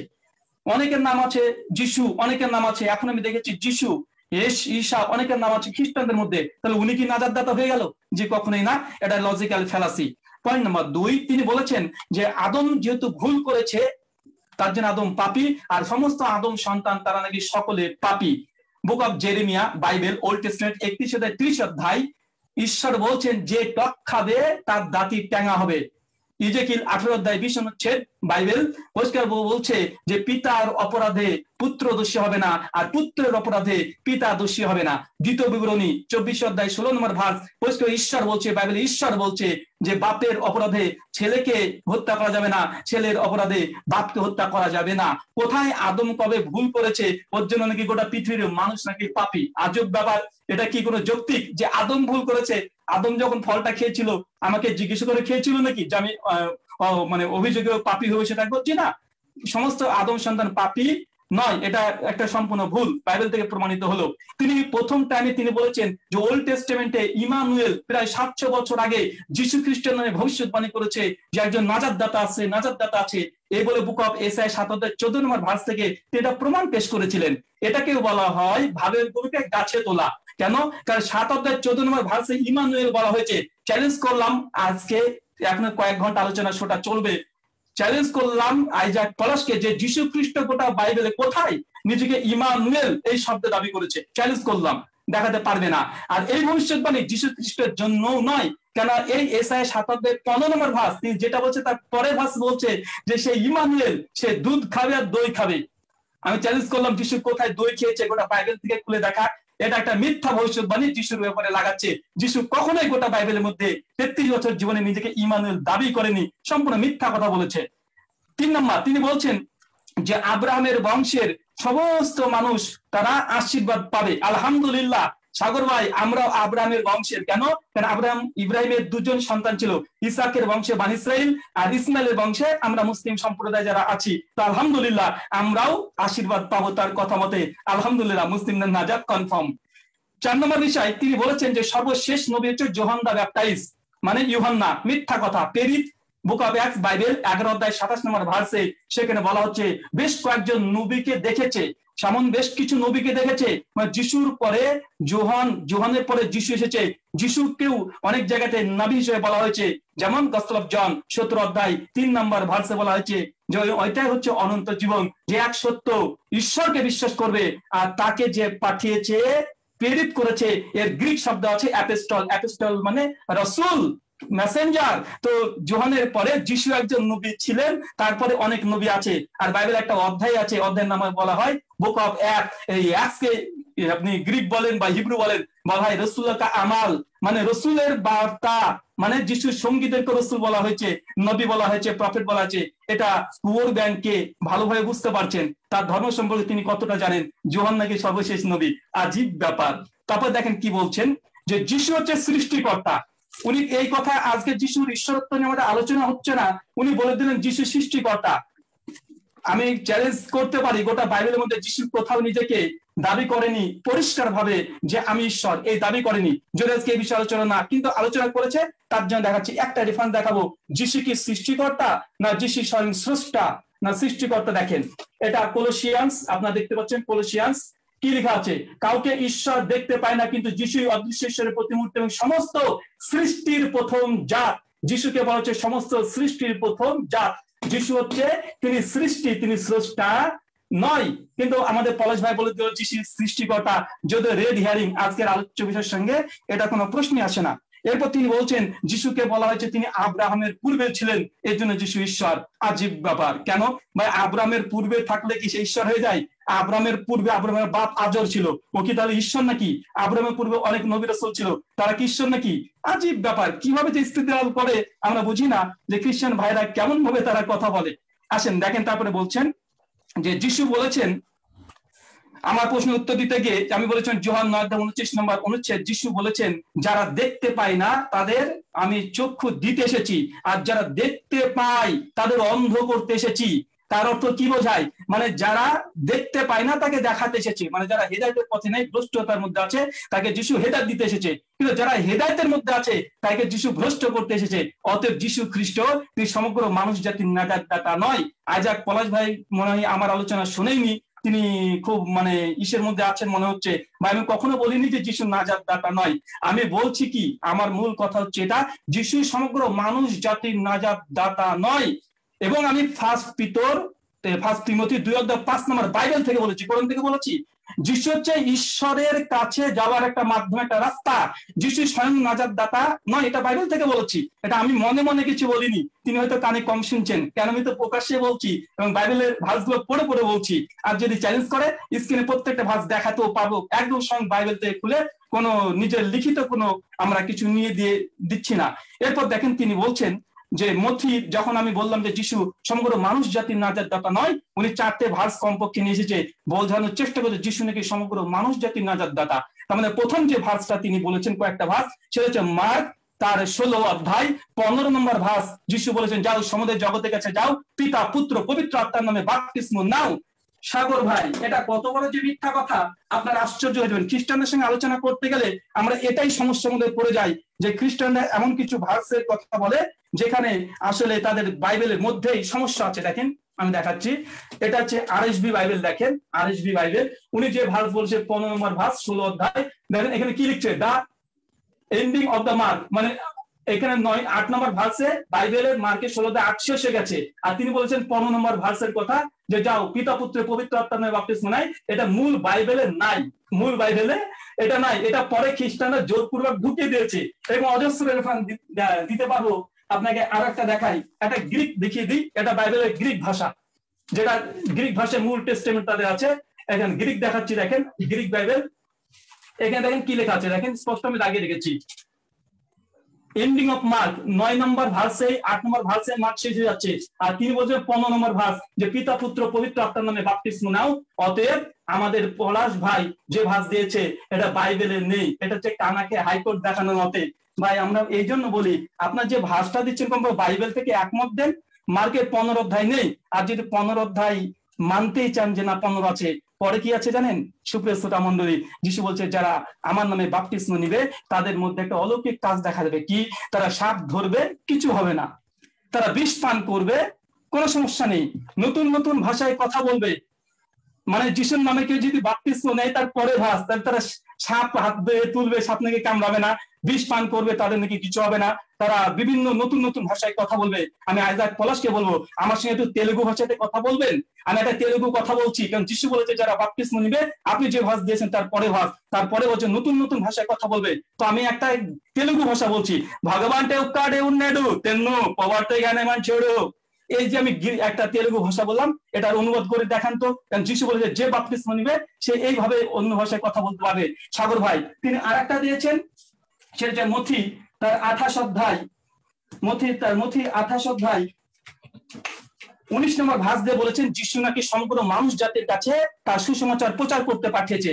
আমার কাছে আছে বাইবেলের মূল ম্যানুস্ক্রিপ্ট যেটা সিরিয়াটেক, সিনাইটিকস পাণ্ডুলিপি কোডেক্স। আমি কোডেক্স দেখাচ্ছি। এই কোডেক্স দেখেন, এটা হচ্ছে মথি, আঠাশ অধ্যায়।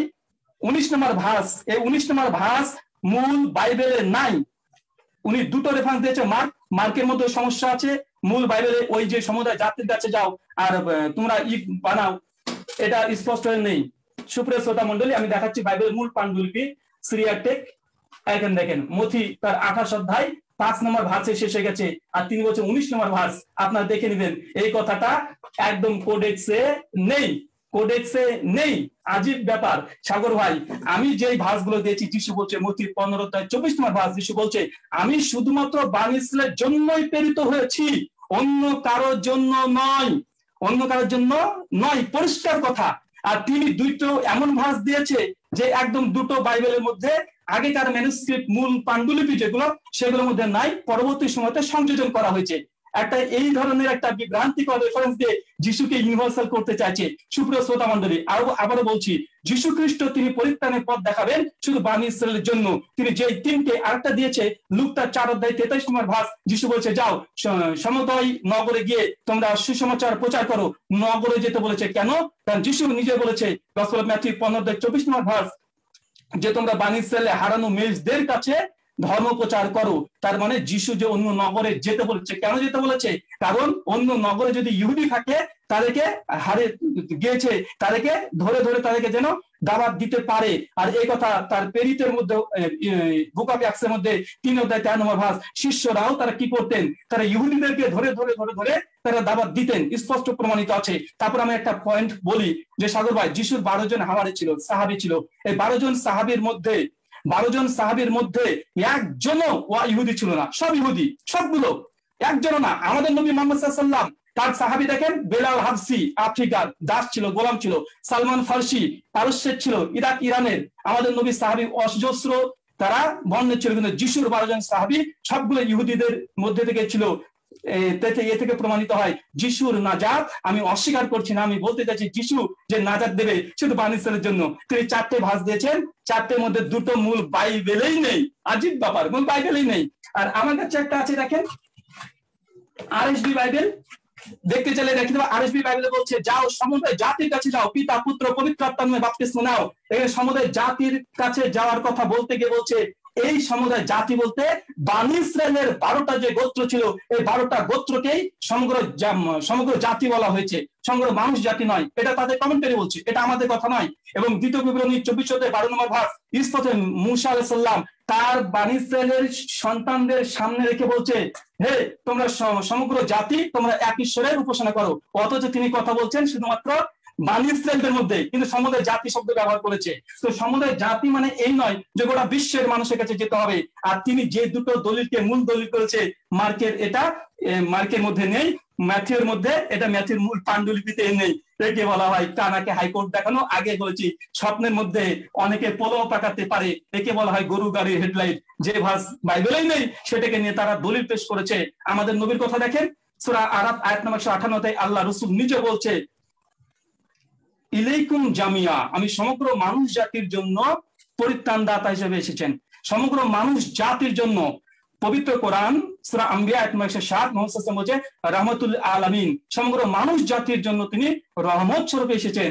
সুরা সাবা, আয়াত নম্বর আঠাশ। সমগ্র মানুষ জাতির জন্য এসেছেন। কিন্তু যিশু বলছে, শুধু বানিসালের জন্য এসেছি, অন্য কোনো জাতির জন্য না। তার শিষ্যদেরকে বলছে বানিসালে হারানো মেজদের কাছে যাও, অন্য কোনো গোত্রের কাছে যেও না। শিষ্যদেরকে বলছে, যখন কিয়ামতের মাঠে বারোটা সিংহাসন দেওয়া হবে, তুমি বানি ইসরায়েলের বারো জন গোত্রের বিচার করবে। সমগ্র মানুষ জাতের বিচার করার কি আর নেই। Point of view gospel of Matthew কুড়ি অধ্যায়, তেইশ নম্বর ভাস যিশু বলছেন যেবে তার দুই পুত্রকে নিয়ে যিশুর কাছে সে বলছে যে, প্রভু, আমার এই সন্তানকে আপনার ডান দিকে আর বাম দিকে বসাবেন। কিয়ামতের দিন যিশু বলছেন যে, কাউকে ডানে এবং বায়ে বসানোর অধিকার আমার নেই, একমাত্র ঈশ্বরের আছে। মানে যিশু খ্রিস্ট না কীভাবে দিবেন তিনি বলছেন যে, কাউকে স্বর্গের রাজ্যের ডান দিকে অথবা বাম দিকে বসানোর অধিকার এখতিয়ার আমার নেই। শুধুমাত্র এখতিয়ার কি আছে? যে ঈশ্বর যিনি তিনি শুধুমাত্র এই কাজটা করতে পারবেন। তার মানে বোঝা যাচ্ছে যিশু সমগ্র মানুষ জাতির নাজাত দাতা নয় শুধু বাণী ইসরায়েলের। তিনি যে প্রমাণ করে দিয়েছেন সবগুলো অ্যাপোক্রিফা সবগুলো বাতিল। তিনি বলছেন যিশু সত্য জীবন এবং পথ। আমরা আগে বলেছি ফার্স্ট ভিতর তিমথি দুই অধ্যায় পাঁচ নম্বর যিশু নিজে পথ না যিশু ঈশ্বরের কাছে যাওয়ার পথ। জন চোদ্দ ছয় বলছে ঈশ্বরের কাছে যাওয়ার জন্য যিশুই পথ। যিশু নিজে পথ ঈশ্বরের কাছে যাওয়ার জন্য মানে ফাইনাল ডেস্টিনেশন ঈশ্বর। আর রাহুল হোসেন আপনার সময় শেষ। প্রত্যেকটা নবী তার রাসূলরা আপনার সময় শেষ। আমি আপনাকে বলছেন কোন নবী নাকি দাবি করে নিজে তিনি সত্য তিনি পথ? আরে ভাই সূরা ইউসুফ আয়াত 6 আল্লাহ নবীকে আল্লাহ রাহুল হোসেন হে নবী আপনি বলেন রাহুল হোসেন আমি আপনাকে মিউট করছি। আপনার সময় শেষ। আপনার সময় শেষ আমি আপনাকে মিউট করছি। আপনি শুনতে পাচ্ছেন না মনে হয় ব্রাদার রাহুল হোসেন আপনাকে আমি আরেকটা আহ্বান করে রাখছি। আপনি দয়া করে ওই শব্দটা উচ্চারণ করবেন না যে তিনি মিথ্যা বলছেন। আমার কাছে মনে হয় এটা এর চেয়ে সুন্দর হয় আপনি, উনি সঠিক বলেন না এই কথাটা যদি উচ্চারণ করেন, তাহলে খুব সুন্দর হয়। আপনাকে আমি মিউট করেছি, আপনি হয়তো আমার কথা শুনতে পারছেন না, আপনার সময় ওভার আর দর্শক আপনারা যারা দেখছেন এই মুহূর্তে প্রায় হাজার হাজার মানুষ দেখছেন, আপনারা যদি নিজেদের টাইম লাইনে শেয়ার করেন, তাহলে আপনাদের যারা বন্ধুবান্ধব রয়েছে তারা সবাই লাইভটি দেখতে পাবে। পরবর্তীতে অবশ্যই অনেকেই দেখবে, কিন্তু লাইভ অবস্থায় অনেকে দেখার আগ্রহ থাকে। আপনারা তাদের জন্য অবশ্যই নিজেদের টাইম লাইনে শেয়ার করবেন। আইজাক পলাশ আপনার সময় শুরু এখন থেকে। আচ্ছা আপনারা যারা দেখছেন, ধন্যবাদ। আমাদের আমার প্রতিপক্ষ দেখলেন সে প্রথমে সে যে বিষয়টা নিয়ে আসছে, যে যিশু ঈশ্বর না বা যিশু ঈশ্বর কখনো বলেননি। আমরা যদি দেখি যে অরিজিনাল আরামিক বাইবেল থেকে যেটাকে ট্রান্সলেট করার সময় নাউনকে প্রোনাউন করা হয়েছে, সেই জন্য সে, তিনি এইগুলি করা হয়েছে। কিন্তু আমরা যদি অরিজিনাল ট্রান্সলেটে চাই, যখন তারা আট অধ্যায় আঠাইশ পদে, ইয়েশুয়া বললেন, আমি তোমাকে বলছি যে যে তুমি তোমার পাপে মরবে, যদি না তুমি বিশ্বাস করো যে আমি জীবন্ত ঈশ্বর প্রভু, তুমি তোমার পাপে মরবে। অর্থাৎ তিনি নাজাদ দাতা তাকে যদি আপনি বিশ্বাস না করেন, আপনার পাপে আপনি মরবেন এবং নাজাদদাতা ঈশ্বর নিজেই নাজাদদাতা সেই জন্যই যিশু মানুষ হয়ে পৃথিবীতে আসছেন। হ্যাঁ তার দুটো চরিত্র ছিল। তিনি একশো পার্সেন্ট মানুষ ছিলেন, একশো পার্সেন্ট ঈশ্বর ছিলেন। এখন তিনি মানবীয় ভাবে অনেক কথা বলছেন, অনেক বিষয় বলছেন এবং ঈশ্বরীয় ভাবে তিনি অনেক কিছু করছেন। আশ্চর্য আশ্চর্য কাজ করছেন। মৃত্যুকে জীবন দিয়েছেন। চার দিনের মৃত্যু আশারকে তিনি জীবন দিয়েছেন। তিনি জাইরের কন্যাকে জীবন দিয়েছেন, তিনি বিধবার একমাত্র পুত্রকে তিনি জীবন দিয়েছেন, তারা মরে গিয়েছিল, তাদেরকে জীবন দিয়েছেন। এবং এই কাজগুলি তিনি করেছেন, ঈশ্বর যা করতে পারে তিনি সেইগুলি করেছেন। যেমন ইসরায়েলের লোকেরা তাকে পাথর মারতে আসছিল। তখন তিনি বলছেন, আমাকে তোমরা কি জন্য পাথর মারো? তখন, আমি যে ভালো কাজ করতেছি, আশ্চর্য কাজ করতেছি, সেই জন্য। বলছেন না, কারণ তুমি তোমাকে নিজেকে ঈশ্বর বলে তুমি বলতেছো সেই জন্য। আমরা দেখি, তারপরে যখন চোদ্দ অধ্যায় ছয় থেকে ছয় অধ্যায় আমরা যদি দেখি, চোদ্দ অধ্যায় ছয় পদে যে যিশু তাকে ইয়াসুয়া তাকে বললেন, আমি জীবন্ত ঈশ্বর প্রভু। এখানে আমরা যদি প্রথম আরামিক হিব্রো বাইবেল পড়ি প্রথম শতাব্দীর, তাহলে এটা আমাদের কাছে স্পষ্ট হয়ে যায়। তারপর আমি যেটা বলছি যে প্রভু যিশু বললেন, আমি ও পিতা এক। তখন ইহুদিরা আবার পাথর তুললো তাকে মারার জন্য। প্রভু যিশু তাদের উত্তর দিলেন আমি পিতার থেকে তোমাদের অনেক আশ্চর্য কাজ দেখিয়েছি। তার কোন কাজগুলির জন্য আমাকে পাথর মারতে চাইছো? ইহুদিরা তাকে বলল, তুমি উত্তর দিল, তোমার কোনো আশ্চর্য কাজের জন্য তোমাকে পাথর মারছি না। কিন্তু তুমি ঈশ্বরের নিন্দার জন্য, কারণ আপনি একজন মানুষ হয়ে নিজেকে ঈশ্বর বলেছেন। তাহলে যিশু কি সেখানে যারা উপস্থিত ছিল, যারা দর্শক ছিল যারা জিউস লিডার ছিল জিউস ধর্মীয় লিডার ছিল, তারা তাকে বলতেছে যে আপনি নিজেকে ঈশ্বর বলছেন, সেই জন্য আমাকে পাথর মারছি। কিন্তু রাহুল ভাই এটা বিশ্বাস করে না, কারণ উনি এটা দেখে না এবং উনি এটা দেখতেও চায় না। উনি বলতেছেন আর একটা বিষয় উনি বলছেন যে ইসোহাক ইসোহাক থেকে ঠিক আছে ইসরায়েল এর বংশ আসছে, ইসরায়েল থেকে আসছে, কিন্তু যে ইসমাইল থেকে যে আরবের লোকের আসছে বা হজরত মোহাম্মদ আসছে, তার কোনো রেফারেন্স উনি কোথাও থেকে দেখাতে পারবেন এবং কোনো বংশাবলীও দেখাইতে পারবেন তাহলে এইখানে উনি বলতেছে, উনি ইন্ডিয়ান এখন উনি ইন্ডিয়ান হয়ে উনি কীভাবে ইসহাকের বংশ হন? ঠিক আছে? আবার আমরা বাঙালি হিসাবে কিন্তু সবাই নাজাদ পাচ্ছি, পরিত্রাণ পাচ্ছি যীশু খ্রিস্টের মধ্যে দিয়ে। বাঙালি পাচ্ছে, পৃথিবীর আফ্রিকানরা পাচ্ছে, পৃথিবীর সব দেশেই নাজাদ পাচ্ছে। পৃথিবীর সব দেশে সুসমাচার পৌঁছাইতেছে, সবাই নাজাদ পাচ্ছে, সবাই নতুন নতুন ভাষায় কথা বলতেছে। নতুন নতুন ভাষা এখানে পবিত্র আত্মার ভাষা। আমরা যখন পবিত্র আত্মা পাই, তখন পবিত্র আত্মা আমাদের জিব্বা ব্যবহার করে, ঈশ্বরের প্রশংসা করে পবিত্র আত্মার ভাষায়। এই ভাষা মানে তেলুগু ভাষা না, ঠিক আছে? উনি বুঝতে ভুল করছে যীশু খ্রিস্ট বলছে, এখানে নতুন নতুন ভাষার কথা। এইখানে তিনি ওই কথা বলেন নাই। ঠিক আছে? তার পবিত্র আত্মার ভাষার কথা বলছে। তারপরে আমরা যদি যাই যে যীশু খ্রিস্ট উনি যে কথা নিয়ে আসছে, আমরা আবার সেই রেফারেন্সে যাই। যে আমরা যদি দেখি যে এ বিষয়ে কোরআন কি বলে?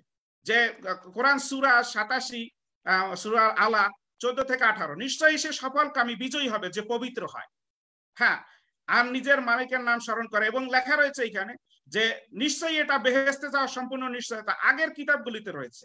আগের কিতাব বলতে তৌরাত, জবুর ইঞ্জিল বুঝায় এবং যেহেতু ইঞ্জিল কোরআনের আগেই, তাহলে আগের কিতাব বলতে সাধারণত ইঞ্জিলকেই বোঝানো হয়েছে। আমরা যদি দেখি তারপরে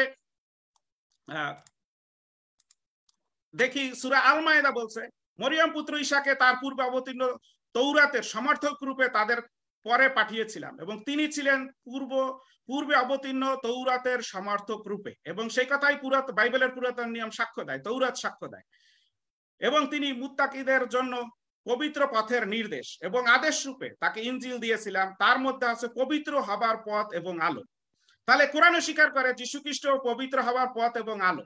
কোরআন কখনো বলে নাই যে যীশুখ্রিস্ট শুধু ইসরায়েলদের জন্য আসছে। তাহলে আমরা দেখি আমরা আবার দেখি সুরা আল ইমরান। আর যারা তোমাকে, অর্থাৎ প্রভু যীশু খ্রিস্টকে অনুসরণ করে, তাদের আমি কি আমাদের দিন পর্যন্ত তোমাকে, প্রভু যীশু খ্রিস্টকে অস্বীকারীকারীদের উপরে, কাফেরদের উপরে বিজয়ী করে রাখব। তাহলে দেখা যাচ্ছে যিশুকে যারা অস্বীকার করে, তাদের উপরে তাকে যারা তাকে স্বীকার করে, তাদেরকে বিজয়ী করে রাখবে সুরা আল ইমরান পঞ্চান্ন পদ স্পষ্ট করে বলতেছে।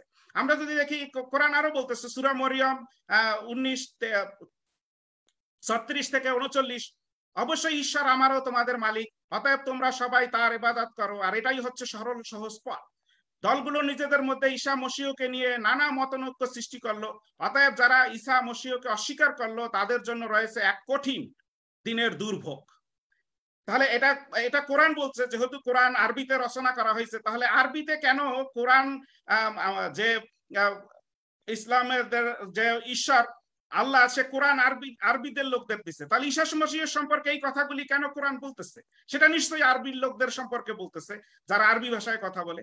হ্যাঁ যেদিন তারা আমার সামনে হাজির হবে, সেদিন তারা ভালোই করেই শুনবে ও জানতে পারবে এবং ভালো করেই দেখতে পারবে। কিন্তু আজ এ জালেমরা সুস্পষ্টভাবে গোমরাহিতে নিমজ্জিত রয়েছে। সুতরাং যারা যিশু, ঈশা মসিহকে ঈশা মসিহকে, যিশু খ্রিস্টকে অস্বীকার করতেছে যে তিনি কি, তিনি যে নাজার দাতা অস্বীকার করতেছে, তারা কি জালেম, তারা গোমরাহিতে নিমজ্জিত হয়ে রয়েছে। সুতরাং তারা স্বীকার করে না, কারণ তারা গোমরাহিতে নিমজ্জিত হয়ে রয়েছে। ঈসা মসিহ কে, সেটা তারা স্বীকার করতে চায় না। পবিত্র আত্মায় পাকরুহুতে যার জন্ম হয়েছে। এবং অনেকের নাম, উনি বলতেছে অনেকের নাম আছে যিশু, অনেকের নাম আছে ঈসা হ্যাঁ কিন্তু তার আসল নাম হচ্ছে ইয়েশুয়া। ইয়েশুয়া নামে অর্থ নাজাদ দাতা হিব্রো ওয়ার্ড। এবং এই নাম উনি নিয়ে আসছেন কারণ পাকরুহুতে ওনার জন্ম হয়েছে। যীশু খ্রিস্টের জন্ম হয়েছে পাকরুহুতে এবং সেটা কোরআন স্বীকার করে যে পাকরুহুতে যীশু খ্রিস্টের জন্ম হয়েছে। যীশু খ্রিস্ট পবিত্র পাকরুহু মানে পাকরুহু মানে পাকরুহু নিজেও ঈশ্বর। পাকরুহুতে জন্ম হয়েছে ঈশ্বর থেকে তিনি মানুষ হয়েছেন। এইখানে জন্ম কথা বলানো হয়েছে যে তিনি মানুষ হয়েছে মানব রূপ ধারণ করেছেন। সেই জন্য জন্ম কথা ব্যবহার হয়েছে এখানে। তারপরে প্রভু যিশুকে এই মুহূর্তে আপনার জীবনে একমাত্র নাজাদাতা বলে যদি স্বীকার করেন আপনার জীবনের প্রভু হিসেবে গ্রহণ করেন, প্রভু যিশুর মধ্যে দিয়ে নাজাদ পাবেন। এটা সবার জন্য। এটা বাঙালিরা পাচ্ছে, পৃথিবীর সবাই পাচ্ছে। আমরা পাচ্ছি। হ্যাঁ এটা আমরা তো জিউস না। আমরা কেন পাচ্ছি নাজাদ আজকে আমি পবিত্র আত্মা গ্রহণ করে, আমি নতুন নতুন ভাষায় মানে পবিত্র আত্মার ভাষায় ঈশ্বরের আরাধনা, প্রশংসা করতেছি এবং নিজে বললেন রোগদেরকে সুস্থ করাবে। হ্যাঁ অনেকেই সুস্থ হয়েছে, আমি নিজেও সুস্থ হয়েছি। হ্যাঁ ক্যান্সার, টিউমার, বিভিন্ন রোগ থেকে সুস্থ, আমি নিজে সুস্থ হয়েছি, অন্যদেরকেও সুস্থ হয়েছে প্রার্থনার ফলে। সুতরাং এইখানে যে কাজগুলি যিশু বলছে, সেগুলি হচ্ছে, আমাদের জীবন তার হচ্ছে। আর উনি যে প্রফেটের কথা বলছে যে পেরিত এগারো অধ্যায় সাতাইশ পদ। আমি বলছি বাপ্তিসমদাতা যখন শেষ নবী, যিশুর কথা অনুসারে। কিন্তু পেরিত পুস্তকে এগারো অধ্যায় সাতাইশ পদ, সেটা হচ্ছে যে পবিত্র আত্মার দান রূপে, অনেককে প্রেরিত রূপে, অনেককে প্রপেট রূপে, এখানে এই প্রপেট আর পুরাতন নিয়মের যে চিরন্তন প্রোপেট যাদেরকে যিশুর জন্মের আগে পাঠানো হয়েছে প্রফেসি করতে, আর এই প্রোপেটের মধ্যে পার্থক্য রয়েছে। এই প্রোপেট শুধু যিশু খ্রিস্টের বিষয়ে কথা বলে এবং পবিত্র আত্মা দ্বারা তারা কথা বলে প্রফেসি বলে। সেই জন্য তাদেরকে প্রোপেট বলা হয়। তারা মনোনীত প্রোপেট না। হ্যাঁ মনোনীত প্রোপেটরা চব্বিশ জন প্রাচীনের, স্বর্গে যে চব্বিশ জন প্রাচীর তাদের মধ্যে থেকে চব্বিশ জন প্রোপেট হ্যাঁ ও যিশু কিন্তু কোনো প্রোপেট না, তিনি ঈশ্বর। হ্যাঁ লোকেরা জানতো না, সেই জন্য যিশুকে প্রোপেট বলে ভাবছে যেন, কারণ তিনি নবীদের মতোই বিক্রমশালী ভাবে কথা বলতেন অনেক বিজ্ঞতার সাথে কথা বলতেন। লোকেরা তাকে শিক্ষক বলছে, গুরু বলছে নবী বলছে, তাতে কি যা আসে যায়? তিনি কি বলছেন সেটাই হচ্ছে আসল কথা। তাহলে আমরা দেখতে পাই যে নরকের আগুনের শাস্তি থেকে আপনি রক্ষা করতে পারবেন যদি আপনি যীশু খ্রিস্টকে গ্রহণ করেন, যেটা কোরআন নিজেই সাক্ষ্য দিতেছে। এবং আমরা যদি দেখি যে সুরা মরিয়ম উনিশ, বিশ, বাইশ আমরা দেখি যে মরিয়াম তাকে জিজ্ঞাসা করলেন, আমার ছেলে হবে কীভাবে? আমি তো কোনো পুরুষকে স্পর্শ করিনি। তুমি তো কুমারী, সতী। আমি তো কুমারী, সতী। তিনি উত্তর দিলেন হ্যাঁ এভাবেই হবে। কারণ ঈশ্বর বলেছেন, এ কাজ আমার জন্য খুবই সহজ। আমি যে সন্তানকে মানুষের জন্য, কুদরতের কুদরতের একটি নিদর্শন, আমার কাছ থেকে অপার অনুগ্রহ অনুগ্রহ তুল্য একটি মানুষ বানাবো। মূলত এটা ছিল এক স্ত্রীকৃত সত্য ব্যাপার। এটা এক সত্য ব্যাপার যে যীশু খ্রিস্টের মধ্যে দিয়ে নাজাত হবে পৃথিবীর সমস্ত পৃথিবীর এটা ছিল এক ঈশ্বরের সেই সৃষ্টির প্রথম থেকে স্ত্রীকৃত ব্যাপার যে নাজাদ দাতার মধ্যে দিয়ে যে সমস্ত জগৎকে তিনি নাজাদ দেবেন, যেটা আমি আদি পুস্তক, বাইবেলের তৌরাতের আদি পুস্তক তিন অধ্যায় পুনরপদে বললাম প্রথমেই। এবং প্রত্যেকেই এবং এখন দেখেন আপনি সুরা নেশা একশো উনষাট বলছে পাক কিতাবীদের, যারা পাক কিতাব পড়ে, সত্যিকার অর্থে পাক কিতাব করে, পবিত্র হওয়ার জন্য, ভালো মন নিয়ে, প্রত্যেকের জন্য রয়েছে মৃত্যুর প্রত্যেকে যারা পাক কিতাবীদের খোদার নাজিল করা পাক কিতাব পরে ও মেনে চলার চেষ্টা করে, তাদের মধ্যে প্রত্যেকে নিজেদের মৃত্যুর পূর্বে ঈশা মসিহকে নাজাদাতা রূপে বিশ্বাস করবেই এবং কিয়ামতের দিন তিনি তাদের বিচার করবেন। যারা ঈশা মসিহকে সঠিকভাবে বিশ্বাস করবে না নাজাদাতা রূপে বিশ্বাস করবেন না, তিনি তাদের বিচার করবেন। সেই জন্যই যখন চোদ্দ আট অধ্যায় চব্বিশ পদে কি বলছে, তুমি যদি আমাকে বিশ্বাস না করো যে আমি সেই জীবন্ত ঈশ্বর তাহলে তুমি তোমার পাপে মরবে। কারণ তিনি এসেছেন ঈশ্বর হয়ে নাজারদাতা হয়ে আমাদের পাপ থেকে তিনি মুক্তি করতে। তাই তিনি আমাদের ঈশ্বর।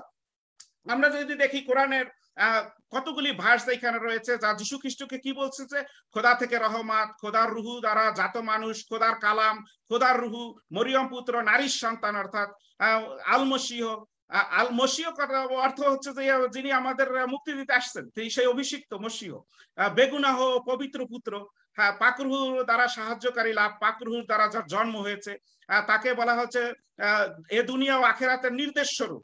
আর উনি বলতেছে যে তিনি আসছেন ইসরায়েল জাতির জন্য। তাহলে কোরআনে, আল্লাহ কেন কোরআনে এইগুলি বলবে?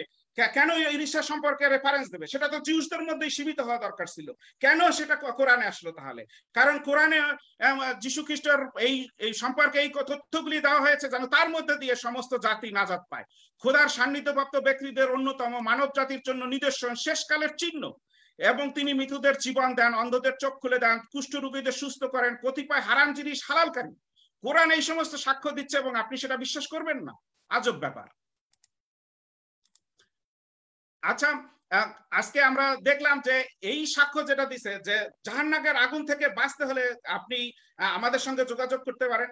হ্যাঁ এটা আমার ইমেল নম্বর হ্যাঁ আপনি যে কোনো চার্চে গিয়ে এই বিষয়ে শিক্ষা নিতে পারেন। আমাদের একটা ইউটিউব চ্যানেল আছে হ্যাভেন ফর সাবস্ক্রাইব করতে পারেন।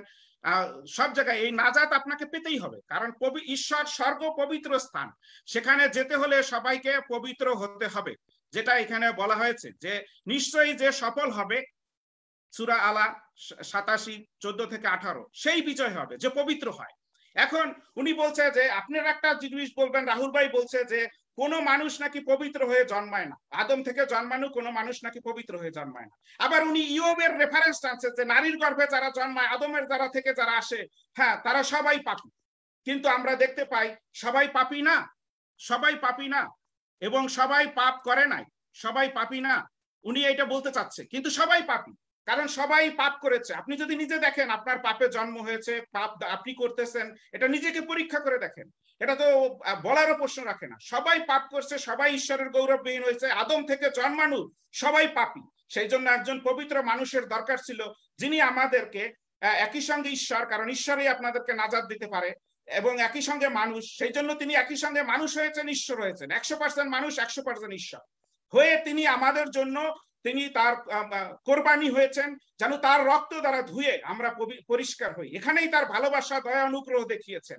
তিনি আমাদের জন্য রক্ত দিয়ে আমাদেরকে পরিষ্কার করেছেন কারণ রক্ত সেচন ব্যতিরিকে পাপের মোচন হয় না। বাংলাদেশ স্বাধীন হয়েছে ত্রিশ লক্ষ শহীদের রক্তের বিনিময়ে। রক্ত সেচন ব্যতিরিকে বাংলাদেশ স্বাধীন হয় নাই। আজকে আমাদের যে স্বাধীনতা দরকার আর্থিক স্বাধীনতা দরকার পাপ থেকে মুক্তি দরকার তা আমরা একমাত্র করতে হতে পারি যদি আমরা ঈসা মসিহের পবিত্র রক্ত দ্বারা মুক্তি লাভ করি। এবং স্বর্গে প্রবেশ করা তাহলে পবিত্র স্বর্গ পবিত্র স্থান। সেখানে যেতে হলে আমাদেরকে অবশ্যই পবিত্র হতে হবে এর কোনো বিকল্প নাই। এবং যীশু খ্রিস্টই হচ্ছে যে সেই স্বর্গে যাওয়ার একমাত্র পথ। আপনাকে অশেষ ধন্যবাদ জনাব আহ, আইজাক পলাশ। আমি ব্রাদার রাহুল হোসেন আপনার সময় শুরু। আপনি দয়া করে বলবেন।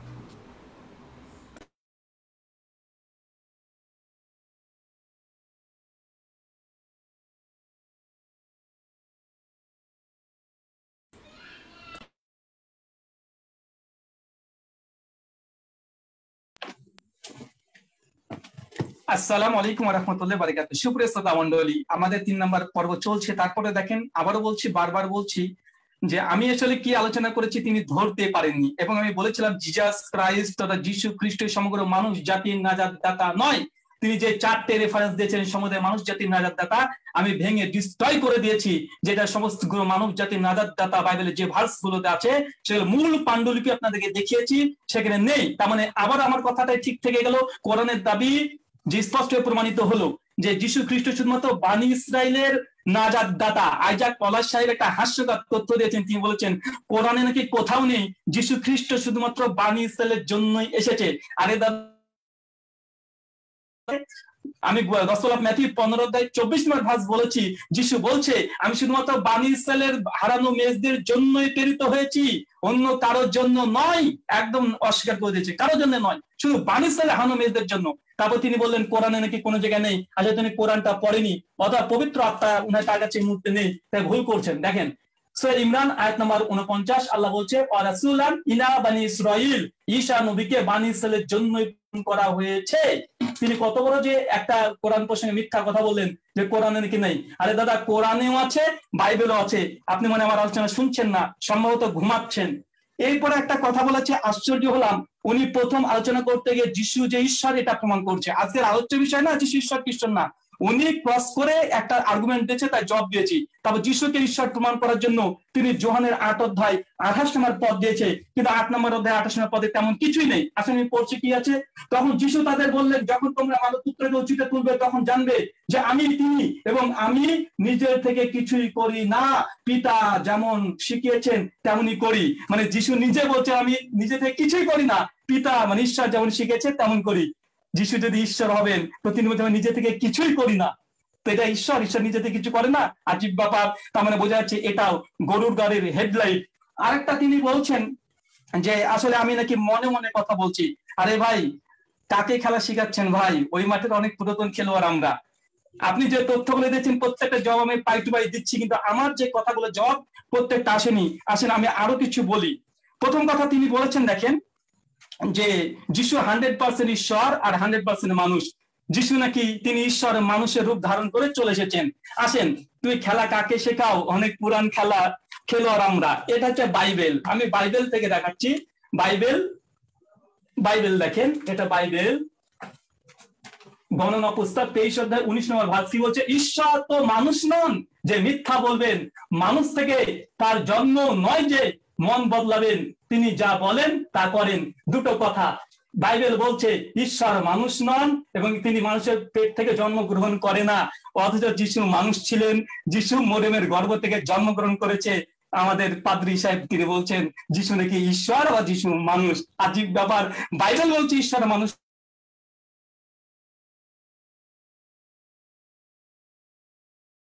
hundred percent man hundred percent God এটা কি? আমরা তো বুঝলাম না। টম জেরির মতো তিনি কথা বলছেন। বাইবেলটাকে তিনি মানতে চাইছেন না। নিজের ইচ্ছে মতো তিনি ব্যাখ্যা করছেন। আজীব ব্যাপার। তারপর দেখেন, তিনি বলছেন, যিশু, তিনি মৃতকে জীবিত করেছেন। অতএব যিশু, ঈশ্বর, সাগর ভাই, বাইবেলের মধ্যে জহিস্কেল বলে একজন নবী আছে। ইজেকিল বলে একজন নবী আছে, জহিস্কেল। সাঁত্রিশ অধ্যায় এক থেকে চার নম্বর ভার্সে এই জহিস্কেল নবী এক হাজার মৃত মানুষকে জীবিত করেছে। যিশু তো তিন থেকে চারজন মৃতকে জীবিত করেছে, জহিস্কেল নবীতে এক হাজার মৃত মানুষকে জীবিত করেছে। জহিস্কেলকে তাহলে আপনারা ঈশ্বর হিসেবে বিশ্বাস করেন? আজীব ব্যাপার। আর বাইবেলে যিশু নিজে বলেছে, গসপেল জন পাঁচ অধ্যায় ত্রিশ নম্বর ভার্সে বলছে যিশু, আমি নিজে থেকে কিছুই করতে পারি না। ঈশ্বর যেমন বলে, আমি তেমনই করি। মানে যিশু তিনি মৃতকে নিজের ইচ্ছায় জীবিত করতে পারতেন না। কেন স্পষ্ট যিশু বলছে, নিজে থেকে কিছুই করি না, বরং ঈশ্বর আমাকে দিয়ে করিয়ে নেয়। যিশু নিজে করে না, কোরআনও আছে যে যিশু, তিনি বলছেন যে কোরআনে নাকি যিশুকে বলা হয়েছে যে তিনি মৃতকে জীবিত করতে পারতেন। চ্যালেঞ্জ করলাম, কোরআনে কোনো জায়গায় নাই যে যিশু মৃতকে জীবিত করতে পারতেন। কোরআন বলছে, যিশু বি ইসনিল্লাহ এই কথা বলে মৃতকে জীবিত করতেন। ইসনিল্লাহ মানে কি? তুমি আল্লাহর মানে ওঠো মানে আল্লাহর নাম নিয়ে যিশু মৃতকে জীবিত করতেন, যিশু না করছেন আল্লাহ। এতটুকু বোঝারও তাদের সামর্থ্য নেই। আবার নাকি তারা পবিত্র আত্মা নিয়ে ঘোরাফেরা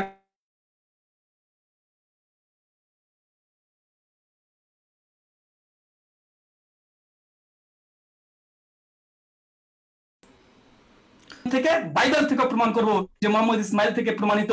এই জন্য রাহিকুল মাকতুম থেকে একশো সাতাশি নম্বর পৃষ্ঠায় বিস্তারিত দেওয়া আছে যে ইসমাইল থেকে মোহাম্মদ ইসলামের যে জন্ম, তার বংশ তালিকা পেশ করা হয়েছে। আসেন, তারপরে একটা দেখি। তিনি বলছেন, আমি বলেছি মার্কের ষোলো অধ্যায়, পনেরো নম্বর ভার্স এবং ষোলো নম্বর ভার্সে বলা আছে, যারা যিশুকে বিশ্বাস করবে, তারা সাপ ধরবে, সাপ নাকি কামড়াবে না। বাইবেল বলছে, সাপ ধরবে, সাপ নাকি কামড়াবে না। তার অসুস্থ মানুষের মাথায় হাত দিবে মানুষ নাকি সুস্থ হয়ে যাবে। তো পৃথিবীতে তো করোনা ভাইরাস সাগর ভাই, পৃথিবীতে তো করোনা ভাইরাস এসব করোনা ভাইরাসকে খ্রিস্টান পাদ্রি থেকে সব পাঠিয়ে দেন না। যে তারা হসপিটালে গিয়ে ওই করোনা ভাইরাস যাদের হয়েছে, তাদের কপালে হাত দিবে, তারা সুস্থ হয়ে যাবে।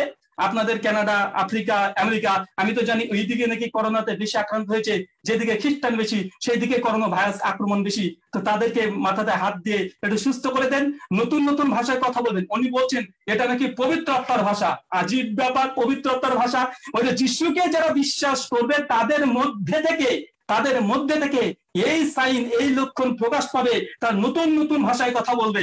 আমি একটা তেলুগু ভাষা বলেছি, উনি বলতে পারেননি। উনি মানে পবিত্র আত্মার উপরে চাপিয়ে দিয়ে নিজে বাঁচার চেষ্টা করছে। আজীব ব্যাপার। এরপর দেখেন, কি বলছে? নবী তার, আমাদের নবী মোহাম্মদ বলেছেন যে, ফাতেমা, আমি তোমাকে কিয়ামতের মাঠে বাঁচাতে পারব না। তো ঠিকই তো, কোন নবী তারা কিয়ামতের মাঠে তার নিজের আত্মীয় বলে যে জান্নাতে চলিয়ে দেবে, জান্নাতে ঢুকে দেবে, কোন নবী রাসূলকে ইখতিয়ার দেয় নাই। আরে ভাই, বাইবেলটা এরা পড়ে না। আরে বাইবেলের মধ্যে নূহ আলাইহিস সালাম তার সন্তান কেনানের ঘটনা আছে। নূহ কি তার সন্তান কেনানকে জান্নাতে নিয়ে যেতে পারবে? লুত আলাইহিস সালাম তার স্ত্রীকে লুট তার স্ত্রীকে জান্নাতে নিয়ে যেতে পারবে? না। আসেন, মার্ক অফ মার্ক তিন অধ্যায় একত্রিশ থেকে পঁয়ত্রিশ নম্বর যিশু কি বলছে? যিশু তার সঙ্গী থেকে ক্লাস নিচ্ছে মানে শিক্ষা দিচ্ছে। যিশুর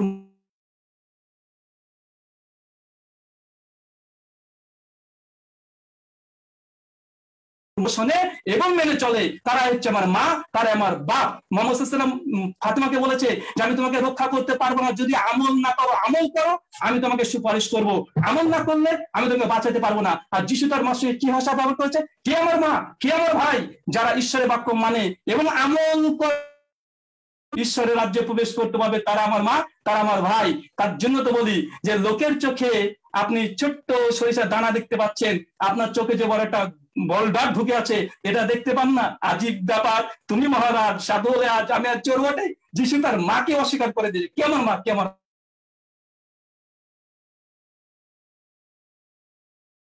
যে যিশু বানিসেলের জন্য আমরা দেখেছি, উনি মিথ্যা কথা বলেছে, কোরআনের কিছু পড়েনি শুধুমাত্র কোথা থেকে একটু জাস্ট দেখে এসেছে। এরপর তিনি বলছে যারা যিশুকে বিশ্বাস করবে, তারাই নাজাত পাবে। সাগর ভাই, আপনি যিশুকে বিশ্বাস করেন না নবী হ্যাঁ আলহামদুলিল্লাহ, আমরা বিশ্বাস করি। ওনার কথা অনুযায়ী আমরাও জান্নাত যাব। সাগর ভাই, এবার দেখেন, যিশুকে বিশ্বাস, যিশুকে কেমন বিশ্বাস? যিশু বলছে, যারা আমাকে সরিষা দানা পরিমাণে বিশ্বাস করে, তারা কি করবে জানেন?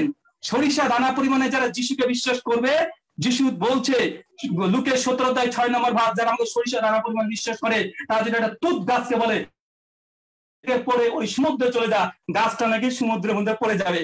আমাদের পাঁচটার আছে, আমি বলছি, আমার হাতে, বাম হাতে এই যে ঘড়ি আছে, একটু যিশুকে তো বিশ্বাস করেন, বাম হাতে ঘড়িটা ডান হাতে করে দেন দেখি। যিশু এরপরে বলছে, বিশ্বাসটা মানে কি? বিশ্বাসের মানদণ্ড কি? যিশু বলছে মথি অধ্যায় বিশ নম্বর ভাগ যারা যিশুকে সরিষা দানা পরিমাণে বিশ্বাস করে তা যদি পাহাড়কে বলে, পাহাড়, তুই সরে ওই নদীতে পড় তো পাহাড় নাকি নদীতে পড়ে যাবে।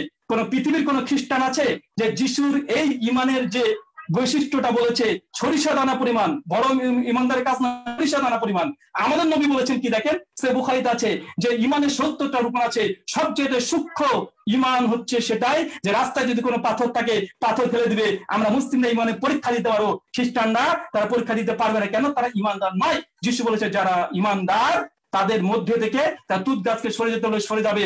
এইসব কথাগুলো তার মানে বুঝতে পারছেন, তারা একবারে নাজাত পাবে না। নাজাত যদি পেতে হয়, একটা তুত গাছ সরিয়ে যিশু কি বলছে দেখেন, যিশু বলছে, লুক, আঠারো দেয় পঁচিশ নম্বর ভাস ধনী ব্যক্তিদের জান্নাত যাওয়া সহজ নয়, বরং উটের সূচের ছিদ্র দিয়ে উট প্রবেশ করা সম্ভব। তবে ধনীদের নাজাত নেই। সাগর ভাই, কোন বড় লোক স্বর্গে যেতে পারবে না। লোক, আঠারো দেয় পঁচিশ নম্বর ভাস বলছে যে সূচের দিয়ে উট প্রবেশ করা সম্ভব, ধনীদের নাজাত সম্ভব নয়। মানে বড় লোক যারা যান না যাবে না, নাজাত পাবে না। আমি ভাই একটু, আমার একটু, ভাই আমি খ্রিস্টান ধর্ম গ্রহণ করব না কেন? কারণ আমি নাজাত পাবো না।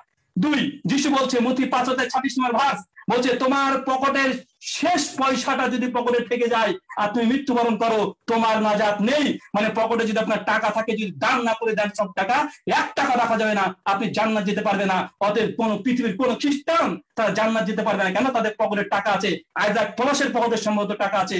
টাকা থাকলেই জান্নাত যেতে পারবে না। মথির পাঁচ অধ্যায় বাইশ নম্বর ভাস যিশু বলছে যে, তুমি তোমার ভাইকে যদি মূর্খ বলো, আহম্মক বলো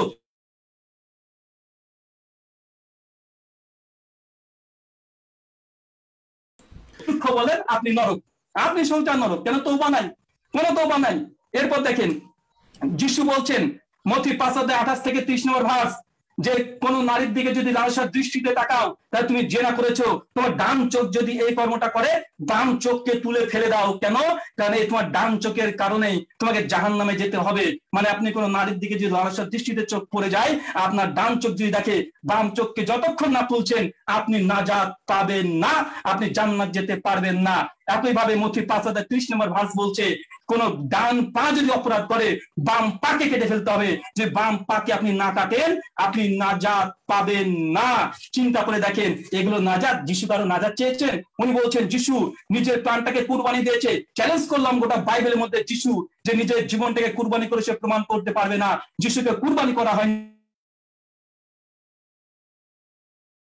যিশুকে তার হাতে পেরেক পোতা হয়েছে, মাথায় তাকে কাটা তাজ দেওয়া হয়েছে এবং জোহান এক অধ্যায় চৌন্ন নম্বর ভাস বলছে, যিশুকে যখন রোমান সম্রাটরা ইহুদিরা ধরার জন্য আসছে, খবর ছড়ে গেছে, যিশু তিনি পালিয়ে বেড়াচ্ছিলেন। জোহান চ্যালেঞ্জ করলাম যে দেখতে চান দেখে দেবো। যিশু পালিয়ে বেড়াচ্ছিলেন। যিশু নাকি মানুষকে নাজাদ দিতে এসেছে, তো তার মৃত্যুর খবর শোনা পরে পালিয়ে গেল কেন? আজীব ব্যাপার।